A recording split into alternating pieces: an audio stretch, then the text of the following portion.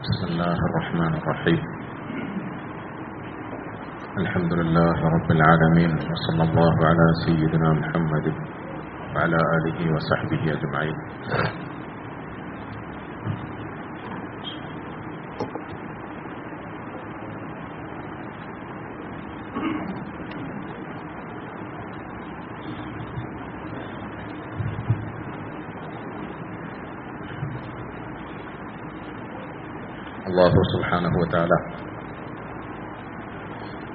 സാധുക്കളായ നമ്മളിൽ നിന്നും അടിമകളിൽ നിന്നും നമ്മൾ നിർവഹിച്ച ഈ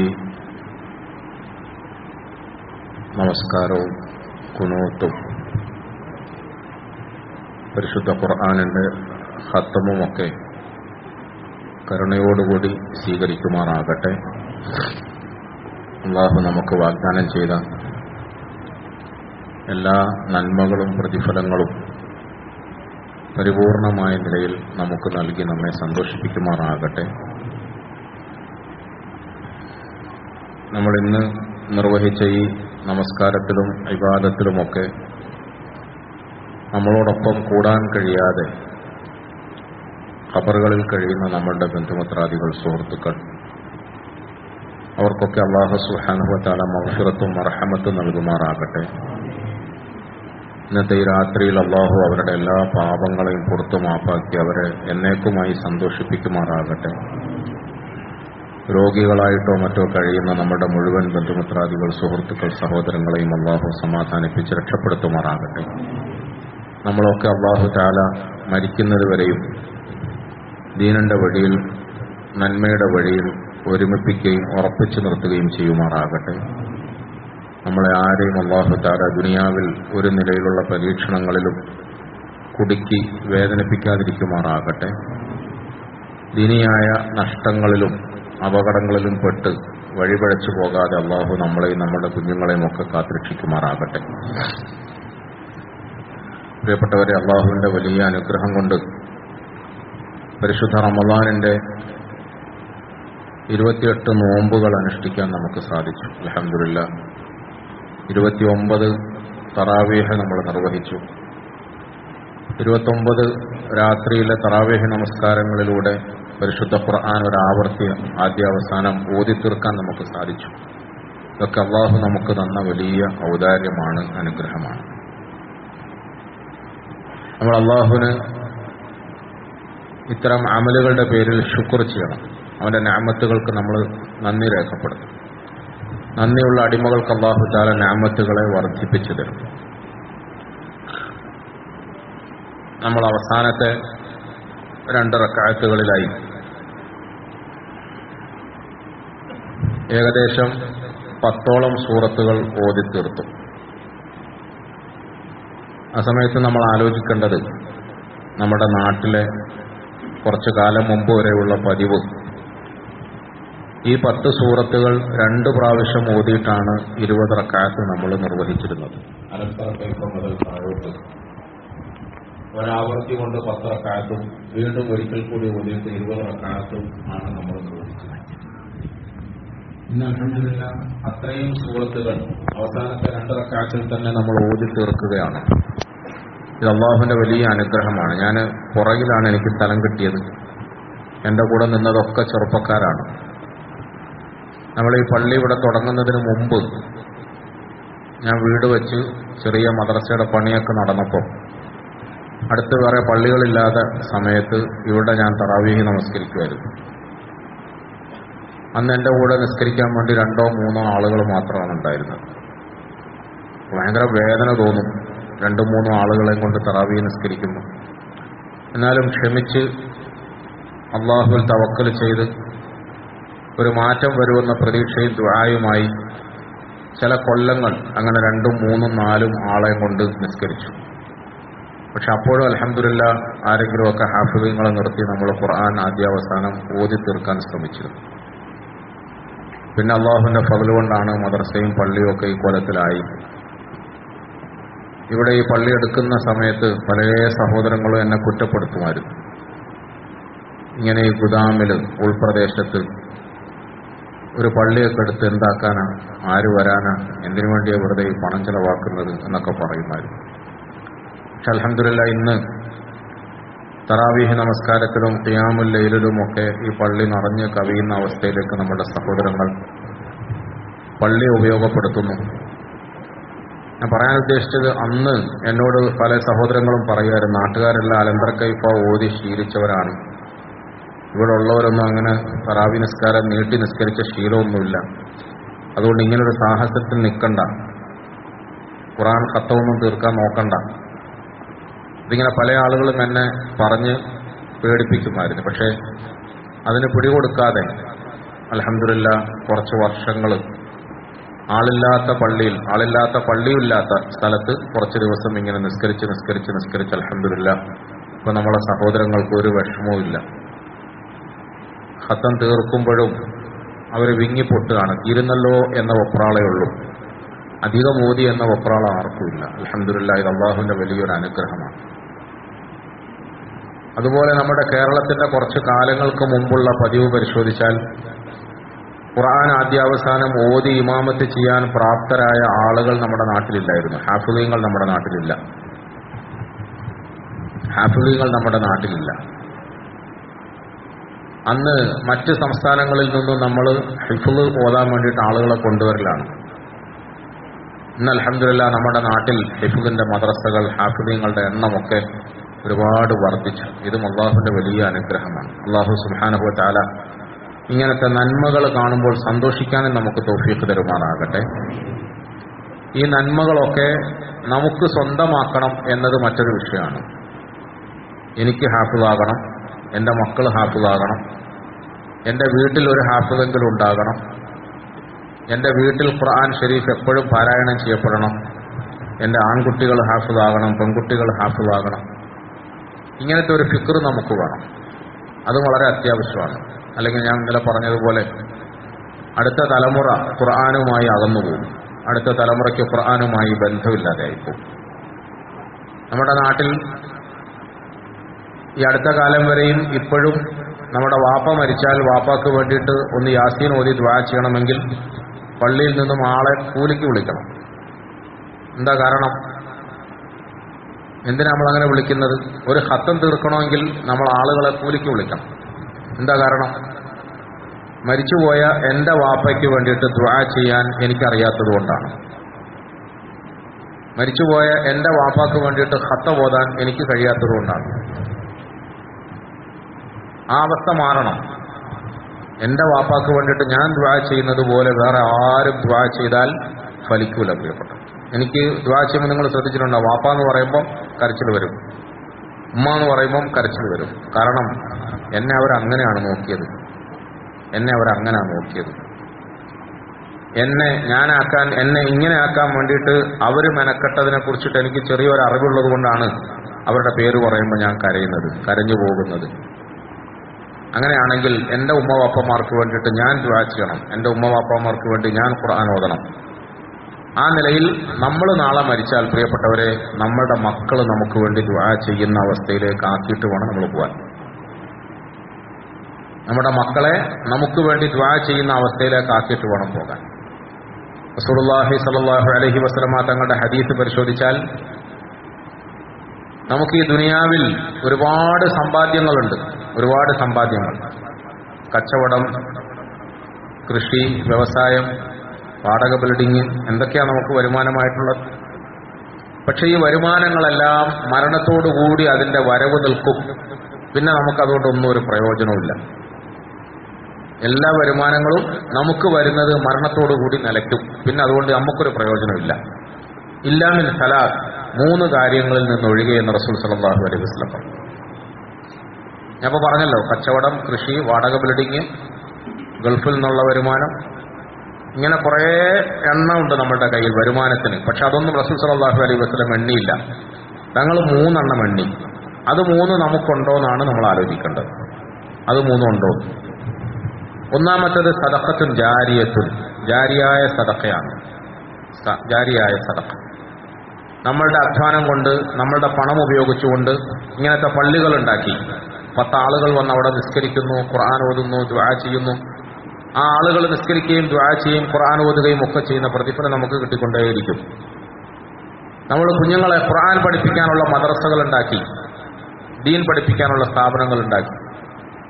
അതൊരു വരുമാന മാർഗമായി കണ്ട് മരിക്കുന്നതിന് മുമ്പ് നമ്മൾ ഇവിടെ ഒരുക്കി വെച്ചിട്ട് മരിച്ചാൽ മരിക്കുന്നതോടുകൂടി അവസാനിക്കാതെ അതിന്റെ വരുമാനം നമ്മുടെ കവറുകളിലേക്ക് ഇങ്ങനെ വന്നുകൊണ്ടേയിരിക്കുമെന്ന് റസൂലുള്ളാഹി സ്വല്ലല്ലാഹു അലൈഹി വസല്ലം. നമ്മൾ ആലോചിക്കണം നമുക്ക് എത്ര പേർക്ക് ഈ ഒരു വരുമാനം ഉണ്ട്? രണ്ടാമത്തെ റസൂൽ സലാഹു അലഹി വസല്ലമ തങ്ങൾ പറഞ്ഞത് എൽമുൻ എൻതഫിഹി എന്നാണ്. എൽമാണ് ഇൽമു. അള്ളാഹു നമ്മളെയൊക്കെ കബൂലാക്കുമാറാകട്ടെ നമ്മുടെ എൽമ അള്ളാഹു നല്ല നിലയിൽ സ്വീകരിക്കുമാറാകട്ടെ.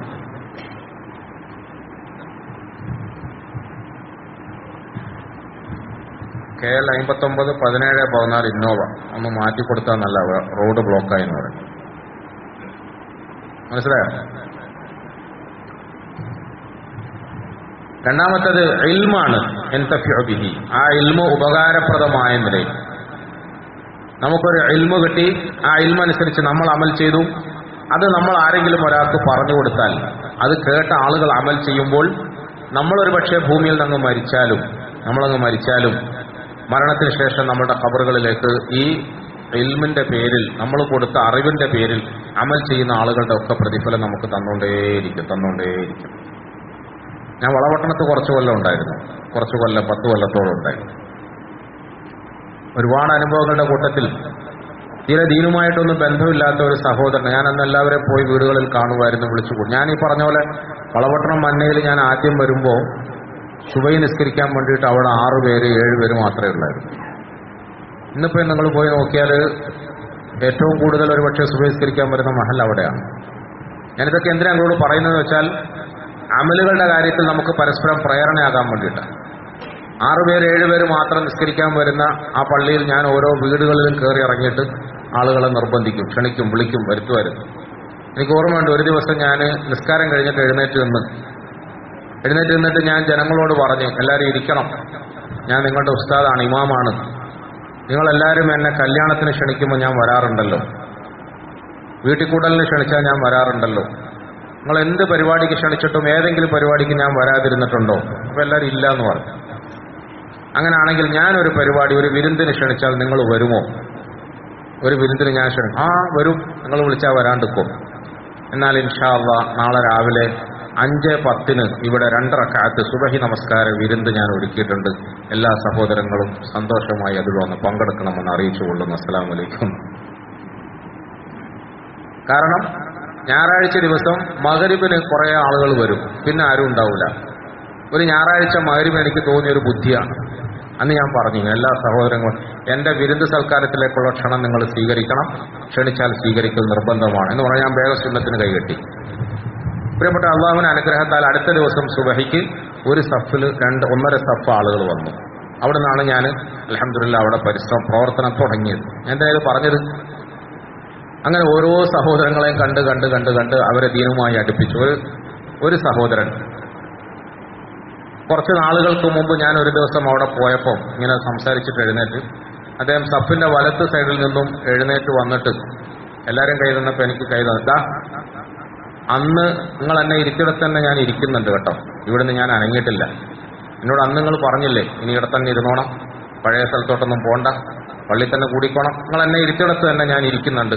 ഞാൻ ഇൻഷാല്ല നിങ്ങൾ പറഞ്ഞ പോലെ മരിക്കുന്നവരെ ഇവിടെ തന്നെ ഇരുന്നോളാം. ഞാൻ നിങ്ങൾ പറയുന്ന പോലെ മരിക്കുന്നത് വരെ ഇവിടെ തന്നെ ഇരുന്നോളാം കേട്ടോ. പ്രിയപ്പെട്ടവരെ രണ്ടു മൂന്ന് ദിവസങ്ങൾ കഴിഞ്ഞപ്പോൾ ആ സഹോദരൻ ലോഹർ നമസ്കരിക്കാൻ വേണ്ടിയിട്ട് പള്ളിയിലേക്ക് വന്നു. നിസ്കരിച്ചു. അത്തഹയാത്തിലിരിക്കുമ്പോൾ അദ്ദേഹം മറിഞ്ഞു വീണു ഒരു സലാം വീട്ടിയോ അല്ല വീട്ടിയില്ലോ എന്ന് സംശയമാണ്. അത്തഹിയാത്തിരിക്കുമ്പോൾ അദ്ദേഹം മറിഞ്ഞു വീണു മരണപ്പെട്ടു. അസ്ര നമസ്കാരത്തിന്റെ സമയം അദ്ദേഹം നേരത്തെ തന്നെ വസ്തിയത്ത് ചെയ്തിരുന്നു. ഞാൻ മരിച്ചാൽ ഉടനെ അന്നേരം എന്നെ കഫൻ പൊതിഞ്ഞ് മറവാടിയേക്കണം. ആരും കാത്തുക്കൊന്നും വേണ്ട. ലോഹർ നിസ്കാരത്തിന്റെ അത്തഹിയാത്തിലിരിക്കുമ്പോൾ അദ്ദേഹം മറിഞ്ഞു വീണു മരിച്ചു. അസ്ര നിസ്കാരത്തിന്റെ സമയത്ത് ഞങ്ങൾ എല്ലാവരും അവിടെ ഓടിയെത്തി അസ്ര നിസ്കാരത്തോട് ചേർന്ന് അദ്ദേഹത്തിനെ കുളിപ്പിച്ച് റെഡിയാക്കി പള്ളിയിൽ കൊണ്ടുവന്നു. നമ്മുടെ മുമ്പിൽ മലർത്തി കടത്തി. ഞാൻ അദ്ദേഹത്തിന് വേണ്ടി ഇമാമായി നിന്ന് നിസ്കരിച്ചു. ഞാൻ ഇപ്പോഴും ഓർക്കും പടച്ചോനെ രണ്ടു മൂന്ന് ദിവസം മുമ്പല്ലേ അദ്ദേഹം ഈ വലത്തത അന്ന് ഞാൻ നിങ്ങൾ ഇരിച്ചിടത്ത് തന്നെ ഇരിക്കുന്നുണ്ട്. ഞാൻ മരിക്കുന്നവരെ ഇരുന്നോളെ. നിങ്ങൾ പറഞ്ഞ പോലെ ഞാൻ ഇരുന്നോളാം. ഞാൻ ആലോചിച്ച് പടച്ചവനെ ഞാൻ പറഞ്ഞത് കേട്ടിട്ട് പലരും ഇങ്ങനെ നല്ലവരായി. ഞാൻ പറഞ്ഞത് കേട്ടിട്ട് പലരും ഇങ്ങനെ ഇരുത്തിയിടത്ത് തന്നെ ഇരുന്നു. അവസാനം അവർ സന്തോഷത്തോടുകൂടി പോയി. പക്ഷെ നമ്മുടെ അവസ്ഥ ഇനി എന്താ? നമ്മുടെ അവസ്ഥ എന്താ? അതുകൊണ്ട് പ്രിയപ്പെട്ടവരെ ഇങ്ങനത്തെ ഒരായിരം അനുഭവങ്ങളുണ്ട് ഒരായിരം അനുഭവങ്ങൾ. ഞാൻ മിമ്പറിൽ റമദാനിൽ കുത്തുബ ഓതിക്കൊണ്ടിരിക്കുകയാണ്. രണ്ടാമത്തെ പത്ത് അവസാനിക്കാൻ പോവാണ്. രണ്ടാമത്തെ പത്ത് അവസാനിക്കുന്ന ഒരു കുത്തുബയാണ് ഞാൻ മെമ്പറിൽ നിന്നുകൊണ്ട് അതിന്റെ വൈകാരികതയിൽ ഇങ്ങനെ സംസാരിച്ചു. സംസാരിക്കുമ്പോൾ ഞാൻ പറഞ്ഞു സഹോദരങ്ങളെ മഹഫുറത്തിനു വേണ്ടി പടച്ചവൻ തുറന്നു വെച്ചിരുന്ന കവാടങ്ങൾ ഇന്നത്തെ സന്ധ്യയോടുകൂടി അടയ്ക്കാണ് മൗഫറത്തിന്റെ പത്ത് ദിവസം കഴിഞ്ഞു. ഇനി ഈ മൗഫറത്തിന്റെ പത്ത് ദിവസം നമ്മൾ കാത്തു നിൽക്കണമെങ്കിൽ മുന്നൂറ്റി അറുപത്തഞ്ച് ദിവസത്തെ ദീർഘമായ ഇടവേളയുണ്ട്. ഈ ഇരിക്കുന്ന നമ്മളിൽ ആർക്കറിയാം മുന്നൂറ്റി അറുപത്തഞ്ച് ദിവസത്തിന്റെ ശേഷം നമ്മളിലേക്ക് ഈ മൗഫറത്തിന്റെ പത്ത് വരുമ്പോൾ നമ്മളിൽ ആരുണ്ടാവും? എങ്ങനെ അറിയും? എന്ന് ഞാൻ അന്നത്തെ വികാരം ഇന്നത്തെ പോലത്തെ വടക്കു ബുദ്ധിയൊന്നും വന്നില്ല അന്ന് കുറച്ചുകൂടെ നല്ലവനാണെന്ന് എനിക്ക് തോന്നുന്നത്. വികാരഭരിതമായ നിലയിൽ ആരുണ്ടാവും നമ്മുടെ കൂട്ടത്തിൽ അന്ന് അതിനെ സ്വീകരിക്കാൻ എന്നിങ്ങനെ കരഞ്ഞുകൊണ്ട് പറഞ്ഞപ്പം എന്റെ കൺമുമ്പിൽ വലതുവശത്ത് ഒരു സഹോദരൻ ഇങ്ങനെ പടച്ച് പടച്ച് പടച്ച് അങ്ങനെ അങ്ങ് മരിച്ചു. പടയ്ക്കുന്നത് കണ്ടു. എല്ലാവരും ഒപ്രാളപ്പെട്ടു. ഞാൻ എന്ത് ചെയ്യണമെന്ന് അറിയാതെ പുതുവയിൽ പപ്പ വല്ലാതെയായി. ആംഗ്യം കൊണ്ട് സദസ്സിലുള്ള ഒരു ഡോക്ടറോട് അതിനെ നോക്കാൻ വേണ്ടി അദ്ദേഹത്തെ നോക്കാൻ പറഞ്ഞു. അവർ ആ സഹോദരനെ എടുത്ത് പുറത്ത് കിടത്തി. ഞങ്ങൾ വേഗം നിസ്കാരം കഴിഞ്ഞിട്ട് നോക്കുമ്പോൾ ഡോക്ടർ പറഞ്ഞു അദ്ദേഹം മരണപ്പെട്ടു. ഞാനിങ്ങനെ കാണുകയാണ്. എന്റെ മുഖത്തേക്ക് അദ്ദേഹം പടച്ചവനെ അദ്ദേഹം എത്ര വലിയ ഭാഗ്യവാനാണ്. നമ്മളിങ്ങനെ വലിയ പ്രസംഗം നടത്തുക സാഹിത്യം പറയുക ജനങ്ങളെ പറ്റിക്കുക ജനങ്ങളുടെ കണ്ണിൽ പൊടിയിടാൻ ശ്രമിക്കുകയാണ്. പക്ഷെ അവർ നിഷ്കളങ്കമായി നമ്മളെ വിശ്വസിക്കുക നമ്മുടെ വാക്ക് കേൾക്കുക. അവരത് അംഗീകരിക്കുകയാണ്. ഉള്ളിൽ തട്ടുകയാണ് അവർക്ക്. എന്റെ കൺമുമ്പിൽ അദ്ദേഹം പടഞ്ഞു മരിച്ചു. ഞാൻ എന്റെ ജീവിതത്തിലുണ്ടായ വലിയ വലിയ അനുഭവങ്ങൾ അങ്ങോട്ട് പറയുന്നത്. നമ്മൾ പതിനാറ് കൊല്ലം കിതാബ് ഓതിയതിനേക്കാളും ഇങ്ങനത്തെ അനുഭവങ്ങളാണ് നമ്മുടെ മനസ്സിനെ വല്ലാതെ സ്വാധീനിച്ചത്. നിസ്കാരം കഴിഞ്ഞപ്പം ആളുകൾ എന്നാ പിന്നെ അദ്ദേഹത്തിനെ പെട്ടെന്ന് വീട്ടിലേക്ക് കൊണ്ടുപോകാം ആംബുലൻസ് വിളിക്ക് അല്ലെങ്കിൽ കാറിൽ കയറ്റ് എന്നൊക്കെ പറഞ്ഞു. ഞാനിങ്ങനെ പൊട്ടി പൊട്ടി പൊട്ടി കരഞ്ഞു. ഞാൻ അവരോട് പറഞ്ഞു നിങ്ങൾ ദയവ് ചെയ്ത് അദ്ദേഹത്തെ നേരിട്ട് വീട്ടിലേക്ക് കൊണ്ടുവരും ദയവ് ചെയ്ത് നിങ്ങൾ നേരിട്ട് അദ്ദേഹത്തെ വീട്ടിലേക്ക് കൊണ്ടുപോരും എന്താ കാരണം അറിയോ? ജുമാ നമസ്കാരത്തിന് മുമ്പ് ആ സഹോദരൻ വന്ന് കണ്ടിരുന്നു. കൂട്ടത്തിൽ അദ്ദേഹത്തിന്റെ മകളുടെ മകനോ മറ്റോ ആണ് കൂട്ടിക്കൊണ്ടുവന്നത്. അവർ വന്നിട്ട് പറഞ്ഞു കുറച്ചു ദിവസമായിട്ട് അത്ര നല്ല ആരോഗ്യമൊന്നും പോരാ. വീട്ടിന്റെ പരിസരത്ത് തന്നെയാണ് പള്ളി കൂടൽ ഇന്ന് ഉപ്പാക്ക് ഭയങ്കര നിർബന്ധം. മനസ്സുസ്താദിന്റെ കുത്തുപ കേൾക്കണം. അവിടെ പോകണം എന്ന് നിർബന്ധം. അങ്ങനെ നിർബന്ധം പറഞ്ഞിട്ട് വന്നതാണ്. ഇറങ്ങി വരുമ്പോൾ പോണോ? ആരോഗ്യക്കുറവല്ലേ? എന്നൊക്കെ ചോദിച്ചപ്പോൾ ഉപ്പ പറഞ്ഞില്ല ഞാൻ പോയിട്ട് വേഗം വരാം. ഞാൻ പോയിട്ട് ജുമ കഴിഞ്ഞപാട് വേഗം വരാം എന്ന് പറഞ്ഞിട്ടാ വന്നത്. പ്രിയപ്പെട്ടവരെ ഞാൻ നമ്മളെ സഹോദരങ്ങളോട് പറഞ്ഞ സഹോദരങ്ങളെ നമ്മൾ ഇദ്ദേഹത്തെ വെളുത്ത തുണിക്കകത്ത് പൊതിഞ്ഞൊരു കാറിനകത്തോ ആംബുലൻസിനകത്തോ കയറ്റി അദ്ദേഹത്തിന്റെ വീട്ടിലേക്ക് പെട്ടെന്ന് കൊണ്ടുപോയാൽ ഉപ്പ വേഗം വരും എന്ന് കാത്തിരിക്കുന്ന ഈ പെൺകുട്ടികൾ എങ്ങനെ അത് താങ്ങും? എങ്ങനെ അത് സഹിക്കും? ജുമാ നിസ്കരിച്ച പാട് ഞാൻ വേഗം വരാന്ന് പറഞ്ഞിട്ടല്ലേ അദ്ദേഹം പോയത്? ഈ കോലത്തിൽ നമ്മൾ അങ്ങോട്ട് കൊണ്ടുപോകുന്നത് എങ്ങനെയാ? ഞാൻ അന്ന് നമ്മുടെ കമ്മിറ്റിക്കാരോട് പറഞ്ഞു നിങ്ങളൊരു കാര്യം ചെയ്യും. വെറുതെ എങ്കിലും അടുത്തുള്ള ഹോസ്പിറ്റലിൽ ഇദ്ദേഹത്തെ അഡ്മിറ്റ് ചെയ്യും. എന്നിട്ട് വീട്ടുകാരോട് വിവരം കൊടുക്ക്. എന്തോ സീരിയസ് ആണെന്ന് പറയാം. അവർ ആശുപത്രിയിലേക്ക് വരട്ടെ. എന്നിട്ട് അവിടുന്ന് കാണട്ടെ. അല്ലാതെ എങ്ങനെയാ താങ്ങുക? ഇതെങ്ങനെയാ സഹിക്കുക? ഞാൻ പറഞ്ഞു വന്നത് നമ്മൾ എന്തെങ്കിലും ഒരു എൽമ് മറ്റുള്ളവർക്ക് പറഞ്ഞു കൊടുത്തു. ഒരു നന്മ പറഞ്ഞു കൊടുത്തു. ആ നന്മ അവരനുസരിച്ച് പ്രവർത്തിച്ചാൽ അതിന്റെ പ്രതിഫലം നമുക്ക് വന്നുകൊണ്ടേയിരിക്കും. മൂന്നാമത്തെ റസൂലുള്ളാഹി സ്വല്ലല്ലാഹു അലൈഹി വസല്ലമ തങ്ങൾ പറഞ്ഞു ഒരിക്കലും അവസാനിക്കാത്ത നിലയ്ക്കാത്ത വരുമാനം നമ്മുടെ സാലിഹ്യങ്ങളായ മക്കളാണ്. വലതുൻ സാലിഹുൻ യദ്ഉ ലഹു.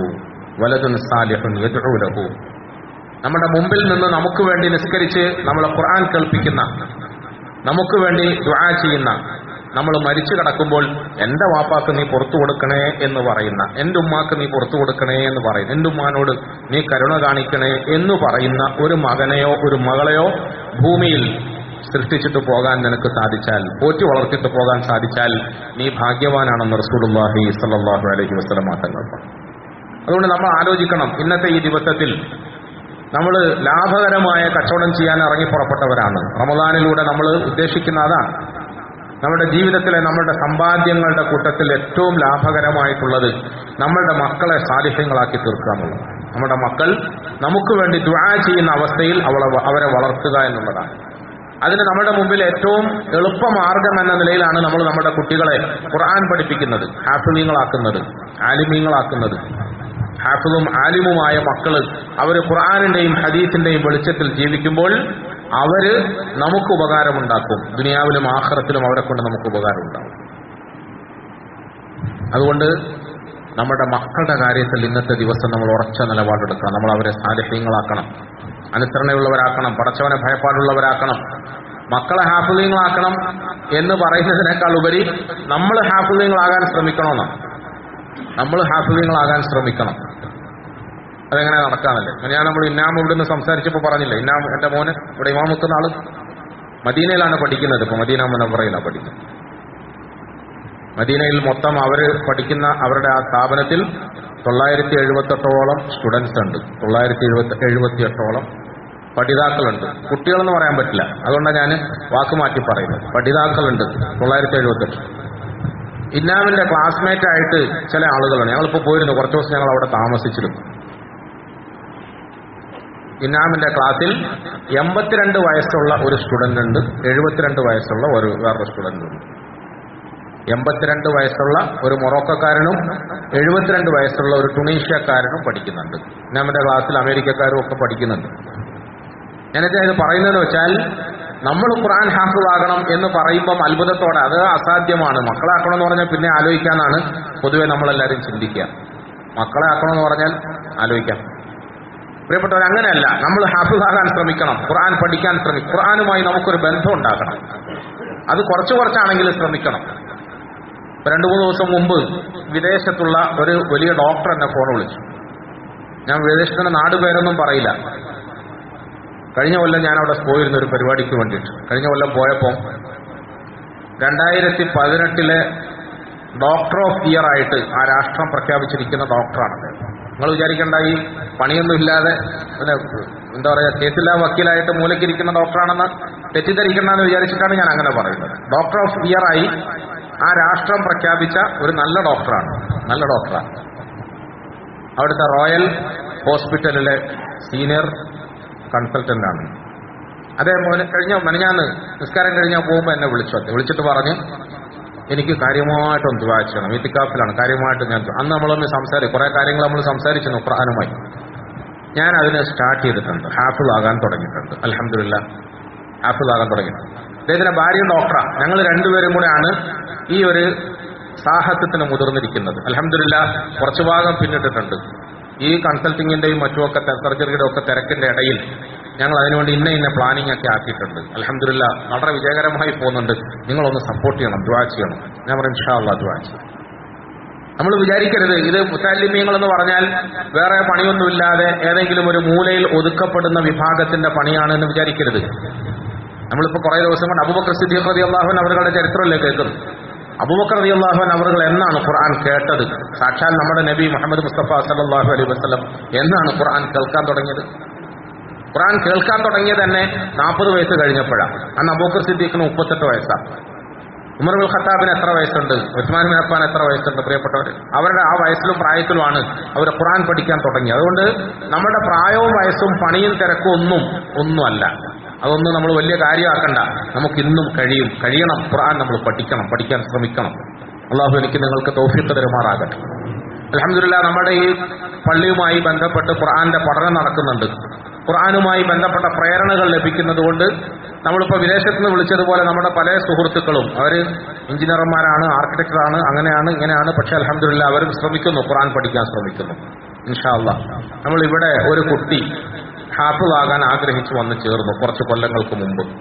വലിയ ആഗ്രഹത്തോടെ വന്ന വാപ്പാക്കും മോനും ഭയങ്കര താല്പര്യം. അവർ വന്ന് ഇവിടുത്തെ അഡ്മിഷന് കുറച്ച് മെനക്കെടാണല്ലോ.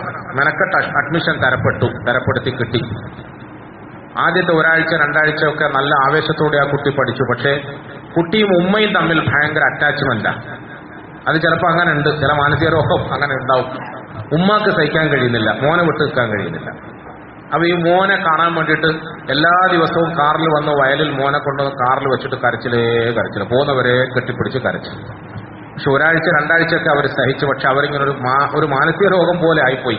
അവസാനം നിവൃത്തി കൊണ്ട് ഡോക്ടർമാര് ഇനി പറ്റൂല എന്ന് പറഞ്ഞതിന്റെ അടിസ്ഥാനത്തിൽ ഈ വാപ്പയും മോനും എന്റെ ഓഫീസിൽ വന്നിട്ട് അവർ പൊട്ടി പൊട്ടി കരഞ്ഞു. കാരണം അവർക്ക് ഉണ്ടാക്കും ഭയങ്കര ആഗ്രഹം പഠിക്കാൻ.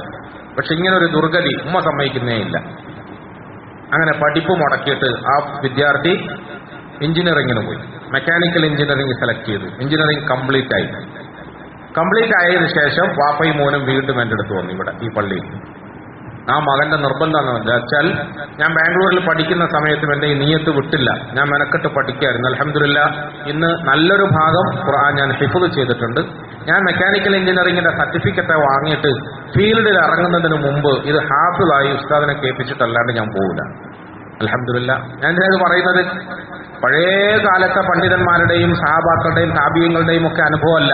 നമ്മുടെ മുമ്പിൽ അലഹമില്ല ഇന്ന് നടന്നുകൊണ്ടിരിക്കുന്ന അനുഭവങ്ങളാണ് ഇന്ന് നടന്നുകൊണ്ടിരിക്കുന്ന അനുഭവങ്ങൾ അതുകൊണ്ട് പ്രിയപ്പെട്ടവരെ നമ്മൾ മെനക്കെട്ടാൽ സാധിക്കും. നമ്മൾ മെനക്കെട്ടാൽ സാധിക്കുക തന്നെ ചെയ്യും. യാതൊരു സംശയവും വേണ്ട. യാതൊരു സംശയവും വേണ്ട.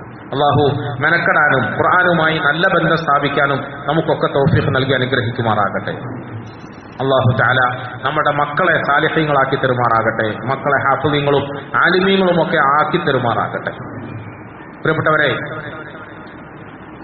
ഒരു കാര്യം അതിന്റെ ഇടയിൽ നമ്മൾ ശ്രദ്ധിക്കണം. വെറും ഹാഫിദ് കൊണ്ട് മാത്രവും കാര്യമില്ല. ഖുറാൻ പഠിക്കുക എന്ന് പറയുന്നത് ഇപ്പോൾ ഒരു പൊതുവെ ഒരു വലിയ ട്രെൻഡാണ്. എല്ലാവരും മക്കളെ ഹാഫിളാക്കണമെന്ന് ആഗ്രഹിക്കുന്നുണ്ട്. ഹാഫിളാകൽ മാത്രമല്ല. ഹാഫിൽ എന്ന് പറഞ്ഞാൽ ഞാൻ ഈ കുട്ടികളോട് പറയാറുണ്ട് ഹാഫിൽ എന്ന് പറഞ്ഞാൽ മനപ്പാടമാക്കിയവൻ എന്നാണ് എല്ലാവരും പൊതുവെ അർത്ഥം വെക്കാറുള്ളത്. മനപ്പാടമാക്കിയവൻ അല്ലെ? ഹാഫിദുൽ ഖുറാൻ ഖുറാൻ മനപ്പാടമാക്കി ഖുറാൻ മനപ്പാടമാക്കുക എന്നല്ല ഹാഫിദിന്റെ അർത്ഥം. ഹാഫിൽ എന്ന് പറഞ്ഞാൽ സൂക്ഷിക്കുക എന്നാണ് അതിന്റെ അർത്ഥം. ഹാഫിൽ എന്ന് പറഞ്ഞാൽ സൂക്ഷിക്കുക. സൂക്ഷിക്കുക എന്ന് പറഞ്ഞാൽ നമ്മൾ മക്കളെ ഹാഫിളാക്കുക എന്നതിന്റെ അർത്ഥം ആ മക്കൾക്ക് ഖുർആാനിന്റെ മഹത്വം മനസ്സിലാക്കി കൊടുക്കണം. അവർ ഖുർആാനിന്റെ ഹറഫുകൾ മനസ്സിൽ സൂക്ഷിക്കുന്നത് പോലെ ഖുർആാനിന്റെ വെളിച്ചം അവരുടെ ജീവിതത്തിൽ സൂക്ഷിക്കണം.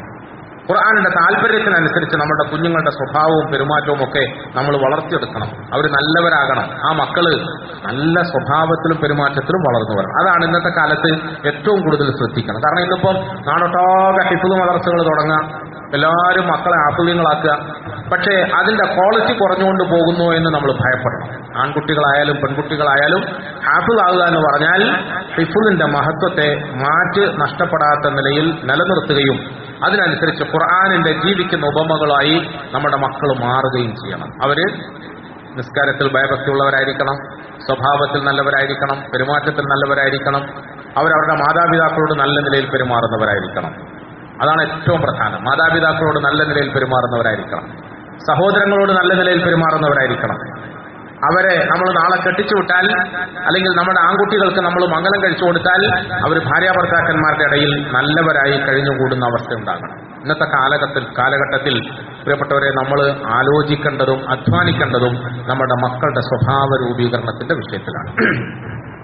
അതിനടിസ്ഥാനപരമായ ഒരു തിയറി എന്ന നിലയിലാണ് ഖുർആാനിനെ നമ്മൾ ഹിഫുദ് ചെയ്യിപ്പിക്കുന്നത്. അടിസ്ഥാനപരമായി അതാണ് നമുക്ക് വേണ്ടത്. നമ്മുടെ ഈ മക്കൾ നമുക്ക് ഇന്നും ഉപകാരപ്പെടണം നാളെ നമുക്ക് ഉപകാരപ്പെടണം. റസൂലുള്ളാഹി സലാഹു അലഹി വസ്ലമ തങ്ങൾക്ക് തങ്ങളുടെ സമൂഹത്തിൽ നിന്നും ഏൽക്കേണ്ടി വന്ന ഉപദ്രവങ്ങൾ എത്രയായിരുന്നു? അല്ലെ? എത്രയായിരുന്നു? തങ്ങൾക്ക് ആകെ ഉണ്ടായിരുന്ന ഒരു ആശ്വാസം തങ്ങളെ സ്നേഹിക്കുകയും തങ്ങൾ പറഞ്ഞതുപോലെ കേൾക്കുകയും ചെയ്യുന്ന തങ്ങളുടെ കൂട്ടുകുടുംബാദികളാണ് തങ്ങളുടെ സഹാബത്താണ്. അതാണ് ഒരു മനുഷ്യനെ സംബന്ധിച്ചിടത്തോളം അവന്റെ ജീവിതത്തിലെ ഏറ്റവും വിലമതിക്കാനാകാത്ത അസറ്റ് എന്ന് പറയുന്നത് സമ്പാദ്യം എന്ന് പറയുന്നത്. നമ്മുടെ മക്കളെ കൊണ്ട് നമുക്ക് ഉപകാരപ്പെടണം. നമ്മുടെ മക്കൾ അനുസരണയുള്ളവരാകണം. നമ്മുടെ മക്കൾ അതവ് കാണിക്കുന്നവരാകണം. ഇന്നത്തെ നമ്മുടെ കുഞ്ഞുങ്ങളുടെ ഈ പോക്ക് നമ്മൾ പരിശോധിച്ചാൽ അശ്രദ്ധമായ നിലയിൽ അലങ്കോലപ്പെട്ട് കടക്കുന്ന അവരുടെ ജീവിത രീതിയെ അടിസ്ഥാനപ്പെടുത്തി നമ്മൾ ആലോചിച്ചാൽ ഈ കുഞ്ഞുങ്ങളെ കൊണ്ട് നമുക്ക് നാളെ എന്തെങ്കിലും ഉപകാരം കിട്ടുമോ എന്ന് സംശയിക്കേണ്ടിയിരിക്കുന്നു. നമ്മൾ മരിക്കാൻ കിടക്കുമ്പോൾ ഒരു ഗ്ലാസ് വെള്ളം തരുമോ മരിച്ചു കഴിഞ്ഞാൽ നമുക്ക് വേണ്ടി ഒന്ന് ദ്വാ ചെയ്യുമോ എന്നൊക്കെ നമ്മൾ സംശയിക്കേണ്ടിയിരിക്കുന്നു പ്രിയപ്പെട്ടവരെ. കാരണം നമ്മുടെ മക്കൾ വേറെ ഏതോ ഒരു ലോകത്താണ്. വേറെ ഏതോ ഒരു ലോകത്താണ്. വേറെ ഏതോ ഒരു ലോകത്ത്. എത്തിക്കാഫിലിരിക്കുന്നതിന്റെ പേരിൽ മാനസികമായുണ്ടായ ആ ഒരു ഭക്തിയുടെ പേരിൽ ജീവിതത്തെ സംബന്ധിച്ചിട്ട് ഒന്ന് ഇരുന്ന് അവലോകനം ചെയ്യാനുള്ള അവസരം എന്ന നിലയ്ക്ക് കഴിഞ്ഞ ദിവസം നമ്മുടെ കൂട്ടത്തിലുള്ള മാഷ് കുറച്ച് സമയം ഇവിടെ സംസാരിച്ചു. നമ്മളുമായിട്ട് സംസാരിച്ചു. അനുഭവം പങ്കിട്ടു. ശ്രദ്ധിച്ചു കേൾക്കുന്നുണ്ടല്ലോ അല്ലേ? കുറച്ച് സമയം ഇരുന്നൂടെ എല്ലാവർക്കും അല്ലേ? പേടി ആന്ന് പറയാൻ പേടി. ഞാൻ ഇന്നലെ ഉറങ്ങിയെന്നു എന്ന് പറഞ്ഞോണ്ട് അല്ലേ? കുറച്ച് സമയം കൂടി ഇരുന്നോളൂ ഇൻഷാവ് ഇത് ഇരുപത്തൊമ്പതാമത്തെ രാവാണ്. എന്ന് പറഞ്ഞാൽ ഒറ്റ ഒറ്റ രാവുകളിൽ അവസാനത്തേതാണ്. റമദാനിന്റെ ഒറ്റ ഒറ്റ രാവുകളിൽ അവസാനത്തെ രാവാണ്. ഇനി ഇങ്ങനെ ഒരു രാവ് നമ്മുടെ ജീവിതത്തിൽ കിട്ടുമോ നമുക്ക് പറയാൻ കഴിയില്ല. അതുകൊണ്ട് ഖുർആൻ ഖത്തം ചെയ്ത ഈ ദിവസത്തിൽ ചില്ലറ കാര്യങ്ങൾ പരസ്പരം ഒന്ന് പറയാം ഞാൻ പ്രസംഗിക്കാറ് അതുകൊണ്ടാണ് ഞാൻ ഇങ്ങനെ ഒച്ചത്തിൽ പറയാത്തത്. വളരെ സൗമ്യമായി പറയുന്നത് പ്രസംഗം ആകാതിരിക്കാൻ വേണ്ടിയിട്ടാണ് ആ ആശയം അറിഞ്ഞാൽ ഇവിടെ ഇങ്ങനെ ഇരുന്ന് രണ്ട് വാക്ക് പറയണമെന്ന് പറഞ്ഞപ്പോൾ അദ്ദേഹം വൽ അസർ ഇന്നൽ ഇൻസാൻ ലഫി ഹുസ്ര കാലഘട്ടം കാലം കാലത്തെ സത്യം ചെയ്തുകൊണ്ട് അള്ളാഹു പറഞ്ഞ ആയത്തോടി നമ്മൾ നമ്മുടെ ജീവിതത്തിൽ കുറേ കാലങ്ങൾ കഴിഞ്ഞുപോയി അല്ലേ? നമ്മുടെ ജീവിതത്തിൽ കുറേ കാലങ്ങൾ കഴിഞ്ഞുപോയി ആ കാലത്തിൽ നമ്മൾ എന്തൊക്കെ ചെയ്തു? എന്തൊക്കെയാ ചെയ്തത്? കഴിഞ്ഞുപോയ നമ്മുടെ ജീവിതകാലത്തെ കുറിച്ചിട്ട് നമ്മൾ ആലോചിക്കുമ്പോൾ അതിൽ നമുക്ക് എന്തൊക്കെയാണ് സംഭവിച്ചത്? എന്തൊക്കെയാണ് നമ്മൾ ചെയ്തത്? എന്തെല്ലാം ഓർക്കുമ്പോഴാണ് നമുക്ക് ദുഃഖം വരുന്നത് വേദന വരുന്നത് നിരാശ വരുന്നത്? അല്ലേ? നിരാശ വരുന്നത്. അദ്ദേഹം അദ്ദേഹത്തിന്റെ അനുഭവം പറഞ്ഞു. നിങ്ങൾക്കൊക്കെ ഒരു പക്ഷേ നിങ്ങളുടെ ജീവിതത്തിൽ അങ്ങനെ പഴയതിനെ കുറിച്ചിട്ട് ആലോചിക്കുമ്പോൾ വേദനയോടുകൂടി ഓർക്കുന്ന ഇനി ഒരിക്കൽ മടങ്ങിപ്പോയിരുന്നെങ്കിൽ തിരുത്താമായിരുന്നല്ലോ എന്ന് തോന്നുന്ന അങ്ങനത്തെ ഒരു വിഷമവും ആശങ്കയും തോന്നുന്ന മുഹൂർത്തം നിങ്ങൾക്ക് ആർക്കെങ്കിലും ഉണ്ടോ എന്ന് അദ്ദേഹം ചോദിച്ചു അല്ലേ? എന്നിട്ട് അദ്ദേഹം സ്വന്തമായി എനിക്ക് അങ്ങനെ ഒരു മുഹൂർത്തം ഉണ്ട് എന്ന് പറഞ്ഞു. അത് നമ്മൾ ശ്രദ്ധിച്ചു കേൾക്കണം. ഇന്നത്തെ ഈ രാത്രിയിൽ എന്റെ ശബ്ദം കേൾക്കുന്ന സഹോദരിമാരും അഥവാ ചെറുപ്പക്കാരി പെണ്ണുങ്ങളുണ്ടെങ്കിൽ അവരും ഒക്കെ ചെറുപ്പക്കാരായ നമ്മുടെ സഹോദരങ്ങളൊക്കെ ശ്രദ്ധിച്ച് കേൾക്കുന്ന നല്ലതാണ്. അനുഭവങ്ങളിലൂടെ പാഠം പഠിക്കണം നമ്മൾ. ജീവിതത്തിൽ നമുക്കുണ്ടായ നഷ്ടം അദ്ദേഹം പറഞ്ഞു. അദ്ദേഹത്തിന്റെ മാപ്പ ഭയങ്കര അധ്വാനം. കഷ്ടപ്പാട് മക്കളെ പോറ്റാൻ വേണ്ടിയിട്ട് കഠിനാധ്വാനം ചെയ്യുന്ന ഒരു കക്ഷിയായിരുന്നു. സാധാരണഗതിയിൽ വാപ്പമാരിങ്ങനെ കഠിനാധ്വാനം ചെയ്യും കഷ്ടപ്പെടും. അവരുടെ കഠിനാധ്വാനവും കഷ്ടപ്പാടും ഒന്നും മക്കൾക്ക് തിരിയില്ല. ചിലപ്പം അവർ അവരുടെ സ്വഭാവത്തിന്റെയും പ്രകൃതത്തിന്റെയും അടിസ്ഥാനത്തിൽ ചെറിയ തോതിൽ മക്കളോട് കർക്കശത്തോടെ പെരുമാറും പരുക്കൻ സ്വഭാവത്തിൽ പെരുമാറും അല്ലെ? അധിക വാപ്പമാരും മക്കളുടെ മുഖത്ത് ചിരിക്കൂല അധികം അപ്പന്മാരും മക്കളും. നമ്മൾ സാധാരണഗതിയിൽ ഇപ്പൊ ഈ ഇരിക്കുന്ന നിങ്ങൾ ഞാനുമായിട്ട് കുടുംബ ബന്ധമോ സ്നേഹബന്ധമോ ഒന്നും ഇല്ലാത്ത പരിചയമില്ലാത്ത ആരെങ്കിലും കണ്ടാൽ അസ്സലാം വലൈക്കും അസ്സലാം. നമ്മൾ നീട്ടി പറയും. വിശാലമായി പറയും. നമ്മുടെ മോനെ കണ്ടാലോ ഒന്നും ഉണ്ടല്ല അല്ലേ? ഒന്നും ഉണ്ടല്ല. നമ്മൾ നമ്മുടെ സ്വന്തം വീട്ടിലേക്ക് കയറി പോകുമ്പോൾ സലാം പറയില്ല ഭാര്യനെ കണ്ടാൽ സലാം പറയില്ല അവളെ മുഖത്ത് നോക്കി ചിരിക്കുക അതില്ല. നമ്മൾ നമ്മളുടെ വാപ്പ ഉമ്മ ഭാര്യ മക്കൾ സഹോദരങ്ങൾ തമ്മിലുള്ള ബന്ധത്തിൽ നമുക്ക് ഭയങ്കര പിശുക്കാണ്. എന്തോ ഒരു മറയാണ്. അത് വലിയ പോരായ്മയാണ്. റസൂസലാഹു അലഹി വസ്ലമാ തങ്ങൾ പറഞ്ഞു ഹിയാറുക്കും ഹിയാറുക്കും ലി അഹ്ലീന. നിങ്ങളിൽ ഏറ്റവും ഉത്തമൻ ആരാണ്? അവന്റെ കുടുംബത്തിൽ നന്നായി പെരുമാറുന്നവനാണ്. അല്ലാതെ പള്ളിയിൽ നന്നായി പെരുമാറുന്ന ആളെന്നല്ല. പള്ളിയിൽ നന്നായി പെരുമാറുന്നവനല്ല ഉത്തമൻ. അവന്റെ കുടുംബത്തിൽ അവന്റെ വീട്ടിൽ അവന്റെ ഭാര്യ മക്കളോട് ഏറ്റവും കൂടുതൽ ചിരിക്കുകയും കളിക്കുകയും ചെയ്യേണ്ടത് ആരോടാ? ഏറ്റവും കൂടുതൽ ചിരിക്കുകയും കളിക്കുകയും ചെയ്യേണ്ടത് മക്കളോടാണ് ഭാര്യ ഭാര്യയോടാണ് നമ്മുടെ വീട്ടിന്റെ ഉള്ളിലാണ്.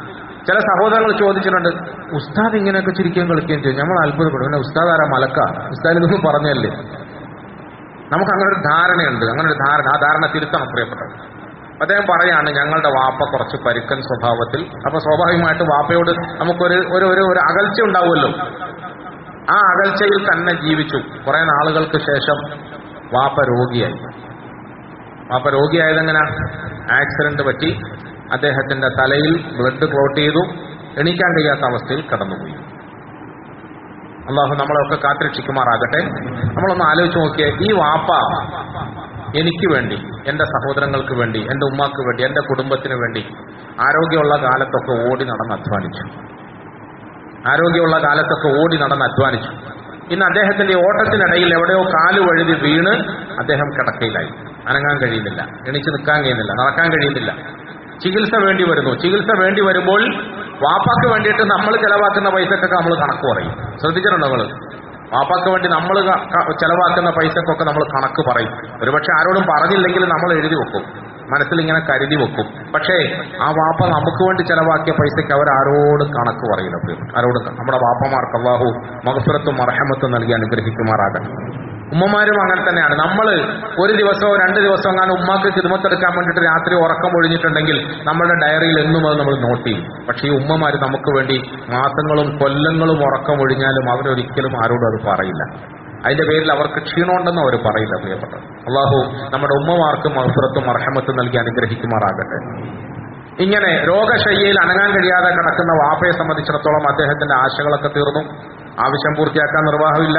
ഒരാളുടെ സഹായമാണ് അങ്ങനെ ഇരിക്കെ നമ്മുടെ മാഷു പറയാണ് ഒരു ദിവസം വെള്ളിയാഴ്ച ആയപ്പം ഉപ്പ ഉമ്മാനോട് പറഞ്ഞു എനിക്കൊന്ന് പള്ളിയിൽ പോകണം എനിക്കൊന്ന് പള്ളി ഒരാശയാണല്ലോ എനിക്കൊന്ന് പള്ളിയിൽ പോകണം എത്ര നാളായി പള്ളിയിൽ പോയിട്ട് ഒന്ന് പള്ളിയിൽ പോകണം ഇന്നത്തെ നമ്മുടെ മക്കൾ സാധനം എന്താ പറയാ? എണീക്കാൻ കഴിയാത്ത അവസ്ഥയിൽ പള്ളിയിൽ പോയേ. അവിടെ അങ്ങനെ കിടക്കപ്പ. എന്തിനാ കഴിയാത്ത അവസ്ഥയിൽ നിങ്ങൾ എന്തിനാ പള്ളിയിൽ പോകുന്നു? അവിടെ കിടക്ക് എന്ന് പറഞ്ഞ് നിരുത്സാഹപ്പെടുത്തുകയാണ് പതിവ്. അങ്ങനെ ശ്രമിച്ചു പലരും പക്ഷെ അദ്ദേഹം ഇല്ല. എനിക്കൊന്ന് പള്ളിയിൽ പോകണം എന്റെ ഒരു ആശയാണ് പള്ളിയിൽ പോകണം ഈ ജുമാക്ക് പള്ളി. നമ്മൾ മാഷ് പറയാ എസ് എൽ സിക്ക് പഠിക്കുന്ന പതിനഞ്ച് വയസ്സ് പ്രായമുള്ള എന്നെയാണ് ബാപ്പയെ എണീപ്പിച്ച് താങ്ങി പള്ളിയിലേക്ക് കൊണ്ടുപോകാൻ വേണ്ടിയിട്ട് ചുമതലപ്പെടുത്തിയത്. ഞാൻ നിർബന്ധിതനായി വേറെ നിർവാഹമില്ലാത്തതുകൊണ്ട് വാപ്പയെ തോങ്ങി തോളിൽ താങ്ങി പള്ളിയിലേക്ക് നടന്നുപോയി. നടന്നുപോയി. പക്ഷെ മാഷി അദ്ദേഹത്തിന്റെ ഗദ്ഗതം കാരണം ഇടയിൽ വിട്ടുപോയൊരു പോയിന്റ് ഉണ്ട്. നിങ്ങളുടെ ജീവിതത്തിൽ ഏതെങ്കിലും ഒരു മുഹൂർത്തത്തിലേക്ക് തിരിച്ചു പോകണമെന്നും അങ്ങനെ സംഭവിച്ചിരുന്നെങ്കിൽ കൊള്ളാമായിരുന്നു എന്നും നിങ്ങൾ ആലോചിച്ചിട്ടുണ്ടോ എന്ന് അദ്ദേഹം ചോദിച്ചു. പക്ഷെ ആ ചോദ്യത്തിന് അദ്ദേഹം മറുപടി പറഞ്ഞില്ല. അല്ലേ? ആലോചിച്ചിട്ടുണ്ടോ? ഈ പോകുന്ന പോക്കിൽ ഈ പോകുന്ന പോക്കിൽ കാൽ നേരെ വലിച്ചഴച്ച് പോകാൻ കഴിയുന്നില്ല. ശരീരം നന്നായിട്ട് മുമ്പോട്ട് പോകുന്നില്ല. ഇങ്ങനെ പോകുമ്പോൾ ഞാൻ ബാക്കിലിരുന്ന് കരഞ്ഞുകൊണ്ട് ഞാൻ ഇങ്ങനെ ചിന്തിക്കുകയായിരുന്നു. ഈ മാഷ് ചോദിച്ചില്ലേ ഏതെങ്കിലും ഒരു മുഹൂർത്തത്തിലേക്ക് തിരിച്ചു പോകാൻ നിങ്ങൾക്ക് താല്പര്യമുണ്ടായിട്ടുണ്ടോ എന്ന് തോന്നിയത് ഞാൻ വിചാരിച്ചു. ഒരു പക്ഷേ ഈ മാഷിന്റെ ചെറുപ്പത്തിൽ വാപ്പയ്ക്ക് ഇന്ന് നിവർത്തിയില്ല ആ നല്ല ബലിഷ്ഠമായ കൈയെടുത്ത് തോളയിലിട്ടുകൊണ്ട് ഇങ്ങനെ താങ്ങി പിടിച്ചുകൊണ്ട് നടക്കുക. അപ്പൊ ഞാൻ എന്റെ മനസ്സിൽ ഞാൻ വിചാരിച്ചെന്താ അറിയോ പടച്ചവനെ എന്റെ വാപ്പാന്റെ കൈക്കൊന്ന് പഴയ ആരോഗ്യം കൊടുത്തിട്ട്. പണ്ട് ഈ കൈ കൊണ്ട് എന്നെ അടിച്ചതുപോലെ എന്റെ ഉപ്പ ഒരടി എനിക്ക് തന്നായിരുന്നെങ്കിൽ എന്ന് ഞാൻ ആശിച്ചു പോയി എന്ന് പറയണത് അല്ലേ? എന്റെ ഉപ്പാന്റെ കൈ കൊണ്ടുള്ള ആ ഒരു അടി എനിക്കൊന്ന് കിട്ടിയിരുന്നെങ്കിൽ കൊള്ളാമായിരുന്നു. കാരണം എന്റെ ഉപ്പ നല്ല കാലത്തൊക്കെ എന്നെ അടിച്ചത് എന്റെ ഗുണത്തിന് വേണ്ടിയാണെന്ന് എനിക്കിപ്പം മനസ്സിലായി. ഇപ്പൊ എന്റെ ഉപ്പാക്ക് അടിക്കാൻ കൈ പൊന്തുന്നില്ല. ഇപ്പൊ ഞാൻ ആശിക്കാണ് പടച്ചവനെ എന്റെ ഉപ്പാന്റെ ഈ കൈ കൊണ്ട് ഒരടി എനിക്ക് കിട്ടിയിരുന്നെങ്കിൽ കൊള്ളാമായിരുന്നു. ഞാൻ അതിന്റെ ഇടയിൽ ഒരു കാര്യം പറയാം. നമ്മളെ കുടുംബത്തിൽ ഒരു സ്ത്രീ അവരുടെ ഭർത്താവ് മരിച്ചു. ഭർത്താവ് മരിച്ചു. ഭാര്യയും ഭർത്താവും തമ്മിൽ എനിക്കറിയാം ഞങ്ങൾക്കറിയാം. ജീവിച്ചിരുന്നിടത്തോളം കാലം എപ്പോഴും കഷ്ടവിഷമാണ് എപ്പോഴും കഷ്ടവിഷം നേരത്തെ നമ്മൾ ഇന്നാമ് പറഞ്ഞില്ലേ ഭാര്യയും ഭർത്താവിന്റെ മധ്യസ്ഥം പറഞ്ഞു പറഞ്ഞു പറഞ്ഞു പറഞ്ഞു പറഞ്ഞു മനസ്സും അടുത്ത കൂട്ടത്തിലാണ് ഞങ്ങളുടെ കുടുംബക്കാരല്ല. അങ്ങോട്ടും ഇങ്ങോട്ടും എപ്പോഴും കഷ്ടവിഷം കാര്യമായ കുഴപ്പമൊന്നും ഉണ്ടാവില്ല പക്ഷെ ഒന്നും കുലുമാല. അങ്ങോട്ടും ഇങ്ങോട്ടും വഴക്ക് വഴക്ക് വഴക്ക് വഴക്ക്. ഒരു സെക്കൻഡ് പോലും പരസ്പരം നല്ലത് പറയില്ല. ഈ ഭർത്താവ് മരിച്ചു കഴിഞ്ഞപ്പോൾ ഞാൻ രഹസ്യമായി എന്റെ കൂടെ സമപ്രായക്കാരായ ആളോട് പറഞ്ഞ് നമുക്കൊന്ന് പോയി നോക്കണം. ഈ സ്ത്രീ മരിച്ചുപോയ തന്റെ ഭർത്താവിനെ കുറിച്ചിട്ട് എന്താ പറയുന്നത് നോക്കണം. കരയോ? കരയോ നോക്കണം. കരയുമ്പോൾ എന്താ പറയുന്നത് നമുക്കൊന്ന് ശ്രദ്ധിക്കും ഒരു കൗതുകം ഉണ്ടല്ലോ നമുക്ക് എന്താ പറയുക കാരണം ജീവിച്ചിരുന്ന ഇന്നലെ വരെ തമ്മിൽ എപ്പോഴും അങ്ങോട്ടും ഇങ്ങോട്ടും കുഴപ്പേ കുഴപ്പം കുഴപ്പേ കുഴപ്പം. തളർന്നു കിടക്കുന്ന അവസ്ഥയിൽ തളർന്നു കിടക്കുന്ന അവസ്ഥയിൽ നിന്റെ ആ മോന്ത ഒന്ന് ഇങ്ങോട്ട് അടുപ്പിച്ചേ. എന്റെ കാലുകൊണ്ട് ഞാനൊരു ചവിട്ട് ചവിട്ടട്ടെ എന്ന് പറയുന്ന ഇതല്ലേ? എന്റെ കാതുകൊണ്ട് ഞാൻ കേട്ടതാ. അത് അന്ന് മോന്ത ഇങ്ങോട്ട് അടുപ്പി. കാരണം ആ മോന്ത ഉള്ളിടത്തേക്ക് കാൽ പൊന്തിച്ച് കൊണ്ടുപോകാനുള്ള ആശയത്തില്ല തളവ് കിടക്കുകയാണ്. പക്ഷെ നിന്റെ മോന്ത ഒന്ന് ഇങ്ങോട്ട് അടുപ്പിച്ച്. ഞാനൊരു ചവിട്ട് ചവിട്ടട്ടെ എന്ന് പറയുന്ന പ്രകൃതമായിരുന്നു. ഇതൊക്കെ ഇത്രയും ഞാൻ തുറന്നു പറയുന്നത് ചിലത് മനസ്സിലാക്കാൻ വേണ്ടിയാണ് അങ്ങനത്തെ ഒരു ഭർത്താവ് മരിച്ചാൽ എന്തായിരിക്കും ആയിരിക്കും പറയാം? അലഹമില്ല പോയി കിട്ടിയല്ലോ എന്നല്ലേ പറയാ? അങ്ങനെ ആയിരിക്കും നമ്മൾ പ്രതീക്ഷിക്കുക? എനിക്കൊരു കൗതുകം. എന്താണ് ഇവർ പറയുന്നത്? പ്രിയപ്പെട്ടവരെ ഞാൻ തമാശ ആണെങ്കിലും കാര്യമാണ് പറയുന്നത് കേട്ടോ. ഞാൻ അത് കറക്റ്റായ നിലയിൽ അതിന്റെ വേടുകൾ വാക്കുകളൊക്കെ പിടിച്ചെടുക്കാനുള്ള ശ്രമം നടത്തിയപ്പോൾ നമുക്ക് ബോധ്യപ്പെട്ട ഒരു വസ്തുതയുണ്ട് ഇത്രയും ഇങ്ങനെ കരയുമ്പോൾ പറയാം പടച്ചവനെ ഇനി കിറുകിറ കിറുകിറ എന്ന് ചീത്ത പറയാൻ ആരാ ഉള്ള റബ്ബേ? കിറുകിറ കറ കരഞ്ഞുകൊണ്ടാണ് അവർ പറയുന്നത്. കിറുകിറ കിറുക എന്നെ വഴക്ക് പറയാൻ ഇനി ആരാ റബ്ബേ ഉള്ളത്? പടച്ചവനെ ചീത്ത പറയാൻ ആരാ ഉള്ളത് റബ്ബ്? അപ്പൊ ഞാൻ മനസ്സിൽ വിചാരിച്ചു പടച്ചവനെ ഇത്രയും കാലം കളി കണ്ട ഞങ്ങളൊക്കെ വിഡ്ഢികളാണ്. അല്ലേ? മധ്യസ്ഥത്തിന് വന്ന ഞങ്ങളൊക്കെ വിഡ്ഢികളാണ്. മരിച്ചു കഴിഞ്ഞപ്പോഴാണ് എന്റെ മാപ്പിള ജീവിച്ചിരുന്ന് എന്നെ ഒരു ചീത്തയും കൂടെ പറഞ്ഞിരുന്നെങ്കിൽ എന്ന് അവൾ ആശിക്കുകയാണ്.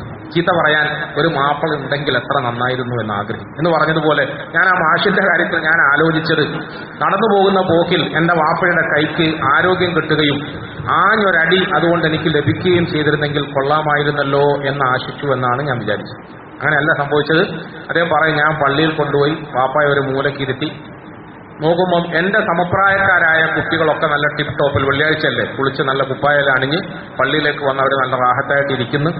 അവരെന്നെ ഇങ്ങനെ നോക്കും ഒരു വയസ്സായ എണീച്ച് നടക്കാൻ കഴിയാത്ത ഒരാളെ നോക്കിക്കൊണ്ട് ഞാൻ വന്ന് എനിക്കെന്തോ ഒരു കുറച്ചിൽ പോലെ തോന്നി. ഒരു കുറവായി തോന്നി. ചെറുപ്പക്കാർക്ക് അങ്ങനെ തോന്നാം. വാപ്പയുടെ ഈ അവസ്ഥയിൽ ഞാൻ വാപ്പാനെ താങ്ങി വന്നത് ഒരു കുറവായി തോന്നി. ഒരു ഒരു ഒരു നാണക്കേട് പോലെ. അദ്ദേഹം പറയാണ് ഞാൻ എന്റെ വൃത്തികെട്ട മനസ്സ് അന്നത്തെ വിവരം കെട്ട കുട്ടികളുടെ സത്യത്തിൽ അതൊരു കുറ്റമൊന്നുമല്ല. പതിനഞ്ച് വയസ്സ് പ്രായമുള്ള എസ് എൽ സിക്കാരന്റെ ജീവിതത്തിൽ വന്നുപോയത് ഒരു ചെറിയ അശ്രദ്ധയാണ്. അള്ളാഹു അദ്ദേഹത്തിന് നമുക്കൊക്കെ മാപ്പ് തരുമാറാകട്ടെ. നമ്മുടെ വാപ്പമാർക്കൊക്കെ അള്ളാഹു നല്ല പ്രതിഫലം കൊടുക്കുമാറാകട്ടെ. ഞാൻ ഗുണപാഠത്തിന് വേണ്ടിയാണ് പ്രിയപ്പെട്ടവരെ ഈ സംഭവം ഉദ്ധരിക്കുന്നത്. മാഷ് പറയാ ഞാൻ വാപ്പായെ മെല്ലെ പള്ളിയുടെ മൂലയിൽ ഉപേക്ഷിച്ചിട്ട് നാണക്കേട് സഹിക്കാതെ എന്റെ ചങ്ങാതിമാരൊന്നും കാണാതെ മെല്ലെ അവിടുന്ന് ഊരി. നേരെ വീട്ടിൽ വന്ന് റൂമിൽ കയറി വാതലടച്ച് ഒളിച്ചിരുന്നു. നിസ്കാരം കഴിഞ്ഞപ്പം സ്വന്തമായി എണീക്കാൻ കഴിയാത്ത ഈ വാപ്പ മെനക്കെട്ടു പ്രയാസപ്പെട്ടു. ആരും പിടിക്കാനും പിടിക്കാനും ഒന്നും ഇല്ലല്ലോ കൂടെ വന്ന മോൻ എന്നെ ഇട്ടിട്ട് പോയില്ലേ? മോൻ എന്നെ ഇട്ടിട്ട് പോയില്ലേ? എന്ത് ചെയ്യും? നാട്ടുകാര് ആദ്യം മുതലേ കാണുമ്പോൾ കുറുകുറുക്കും നമ്മൾ നേരത്തെ പറഞ്ഞ പോലെ ഈ കയ്യാത്തടത്തുനിന്ന് എന്തിനാ വലിച്ചു വലിച്ച് പള്ളിയിലേക്ക് വന്നത്? അവിടെ കാണാൻ ഇരുന്നൂടെ? എന്ന് ആളുകൾ അവസാനം പള്ളിയിൽ നിന്നും ആളുകൾ നിവർത്തിയില്ലാത്തതിന്റെ പേരിൽ താങ്ങിയെടുത്ത് വീട്ടിലേക്ക് കൊണ്ടുവരും. അപ്പം ആശുറ ഞാനിങ്ങനെ ജനൽപ്പാളിലൂടെ ഒളിച്ചു നോക്കുകയാണ് എന്താ സംഭവിക്കുന്നത്. അങ്ങനെ വീട്ടിന്റെ വാതിൽ തുറന്ന് വാപ്പയെ ഉള്ളിലേക്ക് ആക്കിയിട്ട് അവർ മുറുമുറുത്തുകൊണ്ട് വർത്താനം പറയുന്നു. ഇനിയെങ്കിലും കഴിയാത്ത ആളുകൾ വീട്ടിലിരുന്നാൽ മതി. മനുഷ്യനെ മടക്കെടുത്താൻ വേണ്ടി എന്തിനാ ഇങ്ങനെ വലിച്ചു വലിച്ച് പള്ളിയിലേക്ക് വരുന്നത് എന്ന് പറയും. പ്രിയപ്പെട്ടവരെ ഒരു ഉപ്പയെ കുറിച്ചിട്ട് മകൻ ഉദ്ധരിച്ച ഈ വാക്കുകൾ അദ്ദേഹത്തെ കരയിപ്പിച്ചതിനേക്കാൾ കൂടുതൽ ഞങ്ങളെ കരയിപ്പിച്ചു. എന്താണെന്നറിയോ പ്രിയപ്പെട്ടവരെ? നമ്മൾ ആലോചിച്ചാൽ നമ്മളുടെ വാപ്പമാര് ചെറുപ്പത്തിൽ നമ്മളെ കൊണ്ട് പള്ളിയിൽ ഒരുപാട് കാലം പോയി. ഒരുപാട് കാലം പോയി. അവർക്ക് അവരുടെ സമപ്രായക്കാരായ ആളുകളുടെ മുമ്പിൽ നാണക്കേടാകുന്ന ഒരുപാട് കുരുത്തക്കേടുകൾ നമ്മൾ കാണിച്ചു. ജനങ്ങൾ നിസ്കരിക്കാൻ നിൽക്കുന്ന സ്ഥലത്ത് ചിലപ്പോൾ നമ്മൾ മൂത്രം ഒഴിച്ചിട്ടുണ്ടാവും എന്റെ വാപ്പ മൂത്രം ഒഴിച്ച നിന്റെ നാണക്കേട് കൊണ്ട് ഒട എന്ന് പറഞ്ഞിട്ട് എന്നെ അളക്കിട്ട് പോയിരുന്നെങ്കിൽ ഉപേക്ഷിച്ചിട്ട് പോയിരുന്നെങ്കിൽ ഞാൻ ഇന്നേ ആവോ ചിലപ്പോൾ നമ്മൾ ചില സ്ഥലങ്ങളിൽ കാഷ്ടിച്ചിട്ടുണ്ട് നാണക്കേടായിട്ടുണ്ട്. ഈ നാണക്കേടോടുകൂടി നമ്മുടെ വാപ്പമാര് നമ്മൾ ഉപേക്ഷിച്ചില്ല നമ്മുടെ ഉമ്മമാര് നമ്മൾ ഉപേക്ഷിച്ചില്ല. നമ്മുടെ മൂത്രവും നമ്മുടെ കാഷ്ടവും ഒക്കെയായി ആളുകളുടെ ആക്ഷേപമൊന്നും പരിഹരിക്കാതെ അവർ നമ്മളെ വാരി മാറോടണച്ച് കഴുകി വൃത്തിയാക്കി ഈ കുളത്തിലൊക്കെ വളർത്തിയെടുത്തതാണ് പക്ഷേ നമ്മുടെ വാപ്പമാർക്ക് വേണ്ടി തിരിച്ചങ്ങനെ ഒന്നും കൊടുക്കാൻ നമ്മളിൽ എത്ര പേരെ കൊണ്ട് സാധിക്കുന്നുണ്ട്? നമ്മുടെ ഉമ്മമാർക്ക് വേണ്ടി അത്തരം ഒരു ഹിതുമത്ത് തിരിച്ചു കൊടുക്കാൻ നമ്മളിൽ എത്ര ആൾക്ക് സാധിക്കുന്നുണ്ട് പ്രിയപ്പെട്ടവരെ? എത്ര ആൾക്ക് സാധിക്കുന്നുണ്ട്? അതുകൊണ്ട് ഈ സമയത്ത് ഞാൻ നിങ്ങളും ആലോചിക്കേണ്ടത് പ്രത്യേകിച്ച് ചെറുപ്പക്കാരും ചെറുപ്പക്കാരികളും ആലോചിക്കേണ്ടത് നമ്മളുടെ സ്റ്റാറ്റസോ അല്ലെങ്കിൽ നമ്മളുടെ സ്റ്റൈലോ മറ്റൊന്നുമല്ല നമ്മളുടെ മനസ്സിൽ ആദ്യമായി അള്ളാഹുവിനെ പറ്റിയുള്ള ചിന്തയും ഭയപ്പാടും വേണം. രണ്ടാമതായി മാതാപിതാക്കളോടുള്ള ആദരവും ബഹുമാനവും സ്നേഹവും വേണം അനുസരണ വേണം. അവർക്ക് ഹിദ്മത്തെടുക്കാനുള്ള താല്പര്യം വേണം. പിന്നെ നമ്മുടെ സഹോദരങ്ങളുടെ ഇടയിൽ ബന്ധുമിത്രാദികളുടെ ഇടയിൽ നല്ല പെരുമാറ്റവും നല്ല സ്വഭാവവും പ്രകടിപ്പിക്കാൻ നമുക്ക് സാധിക്കണം. ഇങ്ങനത്തെ പെരുമാറ്റ പ്രവർത്തനങ്ങളിലെ ശുദ്ധിയാണ് ഖുർആൻ പഠനത്തിലൂടെ ഓരോ ആളുകൾക്ക് ലഭിക്കേണ്ടത്. ഒരാളുകൾക്ക് ലഭിക്കേണ്ടത്. അതുകൊണ്ട് നമ്മുടെ മക്കൾ ഹാഫിളീങ്ങളാകണം ഹാഫിളീങ്ങളാകുന്നത് എന്തിനാണ്? ഇപ്പൊ ചില സഹോദരങ്ങൾ ഇങ്ങനെ ആലോചിക്കാം പടച്ചവനെ എനിക്കൊരു ആൺകുട്ടി ഉണ്ടായിരുന്നെങ്കിൽ ഞാൻ ഹാഫിളാക്കായിരുന്നു ഒരു ആൺകുട്ടി ഉണ്ടായിരുന്നെങ്കിൽ പെൺകുട്ടി മാത്രമുള്ള ആളുകൾ ധൈര്യത്തിൽ പറയാം. എനിക്കൊരു ആൺകുട്ടി ഉണ്ടായിരുന്നെങ്കിൽ ഞാൻ ഹാഫിളാക്കുമായിരുന്നു അപ്പൊ ആൺകുട്ടി മാത്രമുള്ള ആളുകൾ എന്താ പറയുന്നത്? എന്താ പറയുന്നത്? അള്ളാഹു നമുക്കൊക്കെ മനസ്സിലാക്കാൻ തോഫി തരുമാറാകട്ടെ. ഞാൻ പറയുമ്പോൾ ആർക്കും വേദനയും വിഷമമൊന്നും തോന്നരുത്. ഒരു സഹോദരൻ അദ്ദേഹത്തിന്റെ ഒരു മകന് ഹാഫിളാകണമെന്ന ആഗ്രഹം പറഞ്ഞുകൊണ്ട് ഒരു സ്ഥാപനത്തിൽ പഠിക്കാൻ വേണ്ടി വന്നു. സ്ഥാപനം ഏതാണെന്ന് ഞാൻ പറയില്ല. പഠിക്കാൻ വേണ്ടി കൂട്ടിക്കൊണ്ടു. കൂട്ടത്തിൽ ആ കുട്ടിയുടെ അനുജനും വന്നു.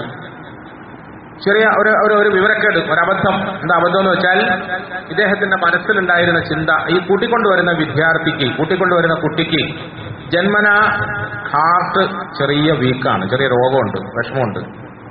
ഇദ്ദേഹം പറഞ്ഞത് ജനിച്ചപ്പോഴേ അങ്ങനെ വൈകല്യമുള്ളത് കൊണ്ട് അന്നേ നിയത്ത് ചെയ്തതാണ് ഹാഫിളാക്കിയേക്കാണ് പള്ളി കൊടുത്ത് കൊടുത്തേക്കാണ് പള്ളി കൊടുത്തേക്കാണ് പറച്ചോ നമുക്കൊക്കെ മാപ്പാക്കി തരുമാറാകട്ടെ.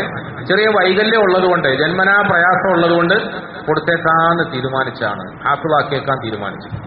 പക്ഷെ പടച്ചവന്റെ ഒരു വിധി നോക്കിയ പ്രിയപ്പെട്ടവരെ പഠിക്കാൻ ആഗ്രഹിച്ച് വന്ന പഠിപ്പിക്കണം എന്ന് വാപ്പ ആഗ്രഹിച്ചു വന്ന ആ കുട്ടിക്ക് സെലക്ഷൻ ആയില്ല. ആ കുട്ടിക്ക് താല്പര്യവും ഇല്ല കൂടെ വന്ന ഈ കുട്ടി ഒറ്റ നിർബന്ധം. ഞാനിവിടെ പഠിക്കും ഞാനിവിടെ പഠിക്കും. അവന് പ്രായമായില്ല അതൊന്നും വിഷയമില്ല. ഞാൻ ഇവിടെ പഠിക്കും ഞാൻ ഇവിടെ പഠിക്കും. അങ്ങനെ നിർബന്ധമായി അവൻ കരഞ്ഞ് കരഞ്ഞ് കരഞ്ഞ് കരഞ്ഞ് കരഞ്ഞ് അഡ്മിഷൻ വാങ്ങി ആ ഇളയ കുട്ടി ഹാഫിളായി. ഹാഫിളായി എന്നതിനോടൊപ്പം നമ്മൾ മറ്റൊരു കാര്യം ആലോചിക്കേണ്ടത്. കുറച്ച് നാളുകളുടെ നാളുകൾക്ക് ശേഷം ഈ വാപ്പ ഹാർട്ട് അറ്റാക്കായി ഹാർട്ട് പേഷ്യന്റായി ബ്ലോക്കായി ബ്ലോക്ക് വളരെ ഡേഞ്ചറായ അവസ്ഥയിലായിരുന്നു. അദ്ദേഹത്തിന് ചികിത്സിക്കാനുള്ള സാമ്പത്തിക ശേഷി ഒന്നുമില്ല. അങ്ങനെ മൂലയിൽ കഴിയുന്ന അവസ്ഥയിൽ ഈ താല്പര്യമില്ലാതെ അല്ല നിയത്ത് വെക്കാതെ കൊണ്ടുവന്ന രണ്ടാമത്തെ കുട്ടി അവൻ ഹാഫിളായിക്കൊണ്ടേയിരിക്കുന്നതിനിടയിൽ വീട്ടിലെത്തി വാപ്പയുടെ അസുഖങ്ങളൊക്കെ അറിഞ്ഞ് അവന് അരികിലിരുന്ന് ഇങ്ങനെ ഓതി ഉത ഓതി ഉത ഓതി ഉത ഓതി ഉത ഓതി ഉത അവന്റെ പ്രാണോതലും വാപ്പാക്ക് വേണ്ടിയുള്ള ദ്വായും കരഞ്ഞു കരഞ്ഞു കരഞ്ഞു കരഞ്ഞു കരഞ്ഞു കരഞ്ഞു കരഞ്ഞ് ദ്വാ അള്ളാഹുവിന്റെ അനുഗ്രഹത്താൽ ആ വാപ്പ ഇന്നും സുഖമായി ജീവിക്കുന്നുണ്ട്. ബൈപ്പാസ് ഒന്നും ചെയ്യാതെ തന്നെ സുഖമായിട്ട് ആ വാപ്പ ജീവിക്കുന്നുണ്ട്. നമ്മൾ ആലോചിക്കേണ്ടത് ഹാർട്ട് പേഷ്യന്റായ എന്റെ മകനെ പടച്ചോന് കൊടുത്തേക്കാന്ന് വിചാരിച്ച ആ വാപ്പ വന്നത്. പക്ഷേ അള്ളാഹു നല്ല ഹാർട്ട് കൊടുത്ത ഈ മകന് അങ്ങനത്തെ ഒരു മനസ്സ് കിട്ടി. ആ മകൻ ഹാഫിളായി. എന്റെ ഹാർട്ട് വീക്കായപ്പോൾ അവൻ പഠിച്ച ഹിഫ് ഊതി ഊതിയിട്ടാണ് അള്ളാഹു എനിക്ക് ഷിഫ തന്നത്. എനിക്കിപ്പോ നിലനിൽപ്പ് വന്നത്. എനിക്കിപ്പോ ജീവൻ നിലനിർത്തി വന്നത്. അതുകൊണ്ട് പ്രിയപ്പെട്ടവരെ ഏത് മക്കളെ കൊണ്ട് എപ്പോ നമുക്ക് ഉപകാരപ്പെടുമെന്ന് പറയാൻ കഴിയില്ല. ആൺകുട്ടി ഉണ്ടായിരുന്നെങ്കിൽ ഞാൻ ഹാഫുദാക്കും ആരും വിചാരിക്കണ്ട. റസൂസലാഹു അലൈഹി വസ്ലമ തങ്ങളുടെ ഹദീസും അനുഭവമൊക്കെ പരിശോധിച്ചാൽ ആൺകുട്ടികളെക്കാൾ കൂടുതൽ നമുക്ക് പ്രയോജനപ്പെടുക പെൺകുട്ടികളായിരിക്കും ചിലപ്പം. എന്ന് പറയുമ്പോൾ ആൺകുട്ടികൾക്ക് വിഷമം തോന്നണ്ട. ആൺകുട്ടികളെക്കാൾ കൂടുതൽ പ്രയോജനപ്പെടൽ പെൺകുട്ടികളെ നമ്മൾ ആലോചിക്കും പ്രിയപ്പെട്ടവരെ നമ്മുടെ ഹബീബായ റസൂൽ സലാഹു അലഹി വസ്ലമ തങ്ങൾക്ക് ഒരു ആൺകുട്ടിയില്ല. ഒരു നബിതങ്ങൾ നബി തങ്ങൾ സല്ലല്ലാഹു അലൈഹി വസ്ലമ തങ്ങളെ സ്നേഹിക്കാനും തങ്ങൾക്ക് മക്കളുടെ ആ സന്തോഷം പകരാനും ഉണ്ടായിരുന്നത് പെൺകുട്ടികളാണ്. ഫാത്തിമ റളിയല്ലാഹു അൻഹ അവറുകൾ എത്ര സ്നേഹനിധിയായ മകളാ. നബി തങ്ങൾക്ക് ഫാത്തിമയോട് എത്ര ഭയങ്കര സ്നേഹമാണ്. എവിടെ യാത്ര പോയാലും തിരിച്ചു വരുമ്പം ആദ്യം തങ്ങൾ ഫാത്തിമയെ കണ്ടിട്ടാണ് ബാക്കിയുള്ളവരെ കാണുകയുള്ളൂ സല്ലല്ലാഹു അലൈഹി വസ്ലമ തങ്ങൾ അത്രയേറെ സ്നേഹിച്ചു ഒരു ദിവസം ഫാത്തിമ ബീവി പറയാണ് ഞങ്ങളുടെ വീട്ടിൽ ഭക്ഷണം ഉണ്ടാക്കി. ഞങ്ങളുടെ വീട്ടിൽ ഭക്ഷണം ഉണ്ടാക്കി എന്ന് പറയുന്നത് ആ വീട്ടിൽ ഒരു വിശേഷമാണ്. ആ വീട്ടിൽ ഒരു വിശേഷമാണ്. ഞങ്ങളുടെ വീട്ടിൽ ഭക്ഷണം ഉണ്ടാക്കി എന്ന് പറയുന്നത് ആ വീട്ടിൽ ഒരു വിശേഷമാണ്. നമ്മൾ പെരുന്നാൾ ഉണ്ടു എന്നൊക്കെ പറയുന്നത് പോലെ. ഭക്ഷണം ഉണ്ടാക്കിയത് എത്രയാണ്? നാല് ചപ്പാത്തി നാല് റൊട്ടിയാണ് ഞങ്ങൾ ഉണ്ടാക്കിയത്. നാല് റൊട്ടി. നാല് റൊട്ടി ഉണ്ടാക്കുക എന്ന് പറഞ്ഞാൽ സുഭിക്ഷമായ ഒരു ആഹാരം ഞങ്ങളുടെ വീട്ടിൽ തയ്യാറാക്കപ്പെട്ടു എന്നാണ്. അത് കഴിക്കാൻ വേണ്ടിയിട്ട് ഞങ്ങൾ എല്ലാവരും ഒന്നിച്ചിരുന്നു. ഒരു ചപ്പാത്തി ഒരു റൊട്ടി അലീബിൻ അബി താലിബിന് കൊടുത്തു. അദ്ദേഹം കഴിച്ചു. ഒന്ന് ഹസൻ നദി അള്ളാഹുവിന് കൊടുത്തു ഒന്ന് ഹുസൈൻ നദി അള്ളാഹുവിന് കൊടുത്തു. പിന്നെ നാലാമത്തെ ഒരെണ്ണം എന്റെ ഓഹരിയാണ്. ഞാനത് കഴിക്കാൻ വേണ്ടിയിട്ട് അരികിലേക്ക് അടുപ്പിച്ചു. അതിന്റെ ഒരു കഷ്ണം പിച്ചിട്ട് ഇങ്ങനെ വായിൽ വെച്ചപ്പോൾ ഞാൻ ആലോചിച്ചു ഞാനിപ്പോ റൊട്ടി തിന്നാണല്ലോ. എന്റെ ഹബീബ് എന്റെ ഉപ്പ ഇതൊക്കെ തിന്നിട്ട് എത്ര ദിവസമായിട്ടുണ്ടാവും? റസൂലുള്ളാഹി സല്ലല്ലാഹു അലൈഹി വസല്ലമ തങ്ങൾക്ക് ഇത് കഴിക്കാൻ കിട്ടിയിട്ടുണ്ടാവോ? എന്നൊരു ചിന്ത വന്നു. ഞാൻ വേഗം എന്റെ ഓഹരിയായ ആ റൊട്ടിയെ രണ്ട് കഷ്ണമാക്കി. ഒരു കഷ്ണം എന്റെ തുണിയുടെ തലപ്പത്ത് ഇങ്ങനെ പൊതിഞ്ഞു കെട്ടിയിട്ട് ഞാൻ ആ സമയത്ത് തന്നെ നടന്നു ഓടി എന്റെ ഉപ്പാന്റെ വീട്ടിൽ പോയി. വാതിൽ മുട്ടി. വിവിധ സല്ലല്ലാഹു അലൈഹി വസല്ലം വാതിൽ തുറന്നിട്ട് ഫാത്തിമ മോളെ ഈ സമയത്ത് എന്താ? എന്താ ഈ സമയത്ത് വന്നത്? എന്ന് ചോദിച്ചു. വളരെ ഭവ്യതയോടെ സ്നേഹനിധിയായ മകൾ അരികിലിരുന്നിട്ട് ഈ മുണ്ടിന്റെ തലപ്പത്ത് നിന്നും പൊതിഞ്ഞു വെച്ച റൊട്ടി പുറത്തേക്ക് എടുത്തിട്ട് പറഞ്ഞു ഉപ്പ നാല് റൊട്ടി ഉണ്ടാക്കി. ഒന്ന് അലി തിന്നു ഒന്ന് ഹസൻ തിന്നു ഒന്ന് ഹുസൈൻ തിന്നു. നാലാമത്തെ എന്റെ ഓഹരി ഞാൻ തിന്നാൻ പോയപ്പോൾ എനിക്ക് തോന്നി എന്റെ റസൂൽ സല്ലല്ലാഹു അലൈഹി എന്റെ ഉപ്പ തിന്നിട്ടുണ്ടാവൂല. അതുകൊണ്ട് ഒരു കഷ്ണം ഞാൻ അങ്ങേക്ക് കൊണ്ടുവന്നതാണ്. അങ്ങേക്ക്. പ്രിയപ്പെട്ടവരെ സ്നേഹത്തോടെ തന്റെ പ്രിയപ്പെട്ട പുത്രി സമ്മാനിച്ച ഈ ചപ്പാത്തി തങ്ങൾ ഇങ്ങനെ ഒടിച്ചെടുത്ത് വായിലേക്ക് വെച്ചിട്ട് അകത്തേക്ക് ഇറക്കി തങ്ങളുടെ കണ്ണ് നിറഞ്ഞു. എന്നിട്ട് തങ്ങൾ പറഞ്ഞു സഹിഹായ ഹദീസിൽ എന്റെ ആത്മാവ് ഏതൊരുത്തന്റെ പിടിയിലാണോ അവനെ തന്നെയാണ് സത്യം. മോളെ ഫാത്തിമ നിന്റെ വാപ്പയുടെ അണ്ണാക്കിലേക്ക് മൂന്ന് ദിവസത്തിന് ശേഷം ആദ്യമായി പോകുന്ന ആഹാരമാണിത്. മൂന്ന് ദിവസത്തിന് എന്റെ ആത്മാവ് ഏതൊരുത്തന്റെ പിടിയിലാണോ അവിടെ തന്നെയാണ് സത്യം. മോളെ ഫാത്തിമ നിന്റെ വാപ്പയുടെ തൊണ്ടയിലേക്ക് മൂന്ന് ദിവസത്തിന് ശേഷം ആദ്യമായി പോകുന്ന ആഹാരമാണ് മോളെ ഇത്. ആഹാരം.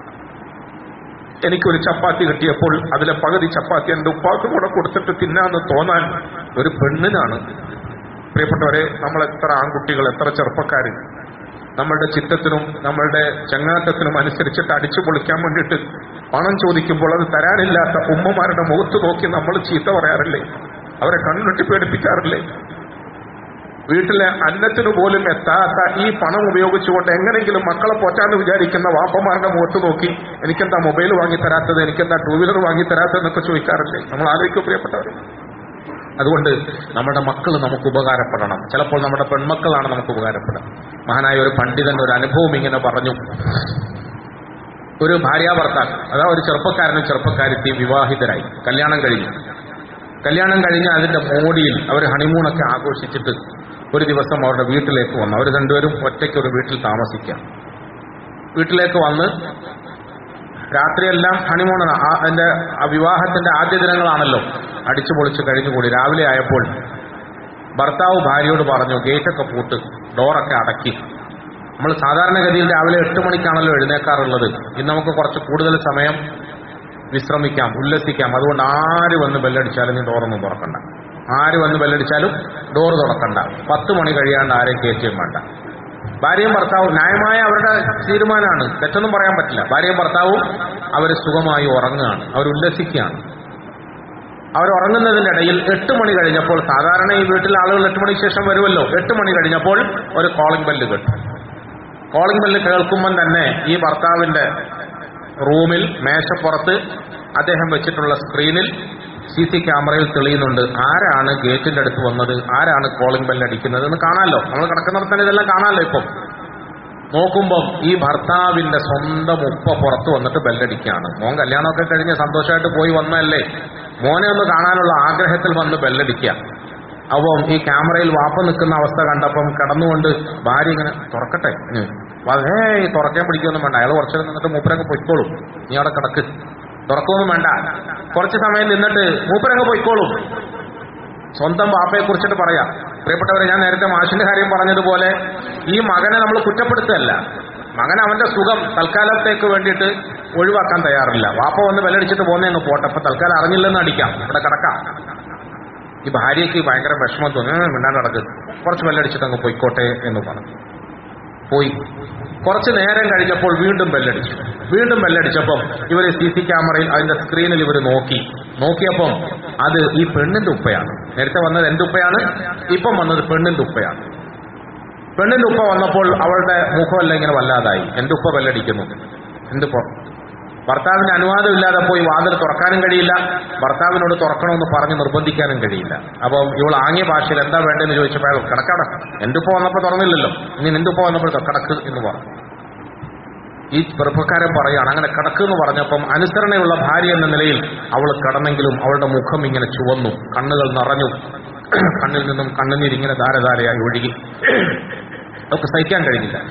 അവളുടെ കഴിച്ചിൽ കണ്ടപ്പോൾ ഞാൻ അവളോട് പറഞ്ഞു ശരി എന്നാ പോയി തുറക്ക് ദുപ്പാനെ കയറ്റി എന്ന് പറഞ്ഞു. അവൾ ഓടിപ്പോയി വാതിൽ തുറന്നു പാപ്പയെ കയറ്റി പാപ്പയെ സൽക്കരിച്ചു ഇരുത്തി സന്തോഷിപ്പിച്ചു. കുറച്ച് നാളുകൾക്ക് ശേഷം ഈ ചെറുപ്പക്കാരനും ചെറുപ്പക്കാരത്തിക്കും ഒരു കുട്ടി ഉണ്ടായി ആൺകുട്ടി. പിന്നൊരു കുട്ടിയുണ്ടായി വീണ്ടും ആൺകുട്ടി. പിന്നൊരു കുട്ടിയുണ്ടായി മൂന്ന് ആൺകുട്ടികൾ ഉണ്ടായി മൂന്ന് ആൺകുട്ടികൾ ഉണ്ടായപ്പോഴും ഇദ്ദേഹം സാധാരണ പോലെ അറുത്തു കൊടുത്തു ബന്ധുക്കളെയൊക്കെ വിളിച്ചു കുറച്ച് ഭക്ഷണമൊക്കെ വിളമ്പി ഒരു പത്തുനൂറ് ആളുകളെ വിളിച്ച് പരിപാടി നടത്തി. പത്തുനൂറ് ആൾ മൂന്ന് ആൺകുട്ടികൾക്ക് വേണ്ടി. നാലാമത് ഒരു പെൺകുട്ടി പറഞ്ഞു. നാലാമതൊരു പെൺകുട്ടി. നാലാമത് പെൺകുട്ടി പറഞ്ഞപ്പോൾ ഇദ്ദേഹം സാധാരണയ്ക്ക് വിരുദ്ധമായി കുറേ ആളുകളെ വിളിച്ചു. അറുത്തു ഒരുപാട് ഭക്ഷണം തയ്യാറാക്കി. വല്ലാതെ സന്തോഷം ഉല്ലാസം ആഹ്ലാദം ആഘോഷമയം ആയ അദ്ദേഹം അതിങ്ങനെ ആചരിച്ചു. ഇത് കണ്ടപ്പം ഭാര്യ പറഞ്ഞു മൂന്ന് ആൺകുട്ടികൾ ഉണ്ടായിട്ട് കാണിക്കാത്ത ഈ ആവേശം. ഒരു പെണ്ണ് പറഞ്ഞപ്പോ എന്താ ഇങ്ങനത്തെ ആവേശം കാണിക്കുന്നത്? അപ്പൊ അയാൾ ആദ്യമൊന്നും മിണ്ടിയില്ല. പല പ്രാവശ്യം ഭാര്യ ചോദിച്ചപ്പം അയാൾ പറഞ്ഞൊരു വാചകമുണ്ട്. മൂന്ന് ആളുണ്ടായിട്ട് കാര്യമില്ല. അഥവാ ഞാൻ വയസ്സും പ്രായമൊക്കെ ആയി എണീക്കാൻ കഴിയാത്ത എടുക്കാ പൈസയായി വീട്ടിന്റെ പുറത്ത് വന്ന് ബെല്ലടിക്കുമ്പം എനിക്ക് വേണ്ടി വാതിൽ തുറക്കണമെങ്കിൽ ഈ മോൾ വേണം എന്ന് എനിക്ക് മനസ്സിലായി. അതുകൊണ്ടാണ് ഞാൻ മോക്ക് വേണ്ടി ഇത്രയും സന്തോഷം പ്രകടിപ്പിക്കുന്നത്. പ്രിയപ്പെട്ടവരെ നമ്മുടെ മക്കൾ നമുക്ക് ദുനിയാവിൽ ഉപകാരപ്പെടണം. നമ്മൾ രോഗിയായി കിടക്കുമ്പോൾ ഒന്ന് തിരിച്ചു കടത്താൻ. അള്ളാഹു നമുക്കൊക്കെ ആഫ്യത്തും സിഹത്തും തരുമാറാകട്ടെ. കടന്നു പോകാതെ പടച്ചോ നമ്മളൊക്കെ കാത്തിരക്ഷിക്കുമാറാകട്ടെ. ചിലപ്പോൾ നമ്മുടെ മലമൂത്ര വിസർജനം വൃത്തിയാക്കാൻ നമ്മുടെ മക്കൾ വേണം. നമ്മൾ മക്കളല്ലാത്ത വേറെ ആരെ നമ്മൾ കൂലിക്ക് നിർത്തിയാലും അവർ പറയുന്ന കുത്തുവാക്കുകൾ നമുക്ക് സഹിക്കാൻ കഴിയില്ല അല്ലേ? അതുകൊണ്ട് നമ്മുടെ മക്കൾ ദുനിയാവിൽ നമുക്ക് ഉപകാരപ്പെടണം. ആഹ്റത്തിൽ നമുക്ക് ഉപകാരപ്പെടണം. കബറിൽ കിടക്കുന്ന അവസ്ഥയിൽ നമ്മുടെ മക്കൾക്ക് വേണ്ടി നമ്മുടെ മക്കൾ നമുക്ക് വേണ്ടി എന്തെങ്കിലും ചെയ്യണം. ഞാൻ എന്റെ കുഞ്ഞുങ്ങളോട് എപ്പോഴും പറയാറുണ്ട് മക്കളെ ഞാൻ എന്റെ വാപ്പാക്ക് വേണ്ടിയിട്ട് മഹഫുറത്തിന് വേണ്ടി ഒരു ദിവസം പോലും ദ്വാരക്കാതിരിക്കാറില്ല എല്ലാ ദിവസവും ഞാൻ ദ്വാ ചെയ്യും. എല്ലാ ദിവസവും ഞാൻ വാപ്പയെ ഓർക്കാതിരിക്കൂല. നിങ്ങൾ അതുകൊണ്ട് ഞാൻ മരിച്ചു കഴിഞ്ഞാൽ എന്നെയും ഓർക്കണം. എനിക്ക് വേണ്ടി ദ്വാ ചെയ്യണം. എനിക്ക് വേണ്ടി അല്ലേ? നമ്മൾ ആലോചിച്ച് നോക്കണം പ്രിയപ്പെട്ടവരെ നമ്മൾ മരിച്ച് മറമാടപ്പെട്ട് അവരിടങ്ങളിൽ കടന്നു കഴിഞ്ഞാൽ പിന്നെ ഈ മക്കൾ നമ്മളെ ഓർക്കുന്നില്ലെങ്കിൽ നമ്മൾ എങ്ങനെയാണ് അവരുമായിട്ട് കമ്മ്യൂണിക്കേറ്റ് ചെയ്യുക എങ്ങനെയാണ് അവരുമായി ബന്ധം പുലർത്തുക? അതുകൊണ്ട് മരിക്കുന്നതിന് മുമ്പ് നമ്മുടെ മക്കൾ നമുക്ക് വേണ്ടി ദുആ ചെയ്യുന്നവരാകാൻ ശ്രമിക്കണം. അതാണ് നിങ്ങളുടെ വരുമാനത്തിൽ നിന്നും ഒരിക്കലും നിലച്ചു പോകാത്ത മൂന്നാമത്തേതെന്ന് റസൂലുള്ളാഹി സല്ലല്ലാഹു അലൈഹി വസല്ലം തങ്ങൾ പറഞ്ഞു. അതുകൊണ്ട് പരിശുദ്ധ ഖുർആൻ നന്നായി പഠിക്കാൻ ശ്രമിക്കണം. അത് പഠിപ്പിക്കാൻ ശ്രമിക്കണം. നമ്മുടെ മക്കളെ ഹാഫുലിങ്ങളും ആലിമ്യങ്ങളും ആക്കാൻ ശ്രമിക്കണം. നമ്മൾ ഹാഫുലിങ്ങളും ആലിമ്യങ്ങളും ആകുന്നതിനോടൊപ്പം അതവുള്ള അനുസരണയുള്ള ഉമ്മയും ബാപ്പയും ബഹുമാനിക്കുന്ന മൂത്തവരെ ബഹുമാനിക്കുന്ന നല്ല സ്വഭാവത്തിലും പെരുമാറ്റത്തിലും കഴിഞ്ഞുകൂടുന്ന ആരോടും ദേഷ്യം പിടിക്കാത്ത കോപിക്കാത്ത ദുസ്വഭാവമില്ലാത്ത നല്ല മക്കളെ വളർത്താൻ ശ്രമിക്കണം. അള്ളാഹു നമുക്ക് അങ്ങനത്തെ മക്കളെ കൊണ്ട് കണ്ണിന് കുളിർമ തരുമാറാകട്ടെ. നമ്മളുടെ മാതാപിതാക്കൾക്ക് നമ്മളെ സംബന്ധിച്ചിട്ട് അങ്ങനത്തെ ആശ്വാസവും സമാധാനവും അള്ളാഹു നൽകുമാറാകട്ടെ. നമ്മുടെ ഉമ്മവാപ്പമാർക്ക് അള്ളാഹു മഹഫുറത്തും മർഹമത്തും നൽകുമാറാകട്ടെ. നമ്മുടെ ഇബാദത്തുകളും ദുആക്കളും ഒക്കെ അള്ളാഹു സ്വീകരിക്കുമാറാകട്ടെ. നമ്മുടെ ഇടയിൽ പരസ്പര സ്നേഹവും മുഹബത്തും ഒക്കെ അള്ളാഹു വർദ്ധിപ്പിക്കുമാറാകട്ടെ. മരണം വരെയും നമ്മളെ ഈ നിലയിൽ അള്ളാഹു താല ഒരുമിപ്പിച്ച് നിർത്തുമാറാകട്ടെ. നന്മയിൽ അള്ളാഹു താല നമ്മളെ ഇസ്തിഖാമത്തോടെ നിലനിർത്തുമാറാകട്ടെ. അവസാനം ഈമാനോടുകൂടി മരിപ്പിക്കുമാറാകട്ടെ. ജന്നാത്തുൽ ഫിദോസിലും അള്ളാഹു സുബ്ഹാനഹു വതആല നമ്മളെ ഒരുമിച്ച് കൂട്ടി സന്തോഷിപ്പിക്കുമാറാകട്ടെ.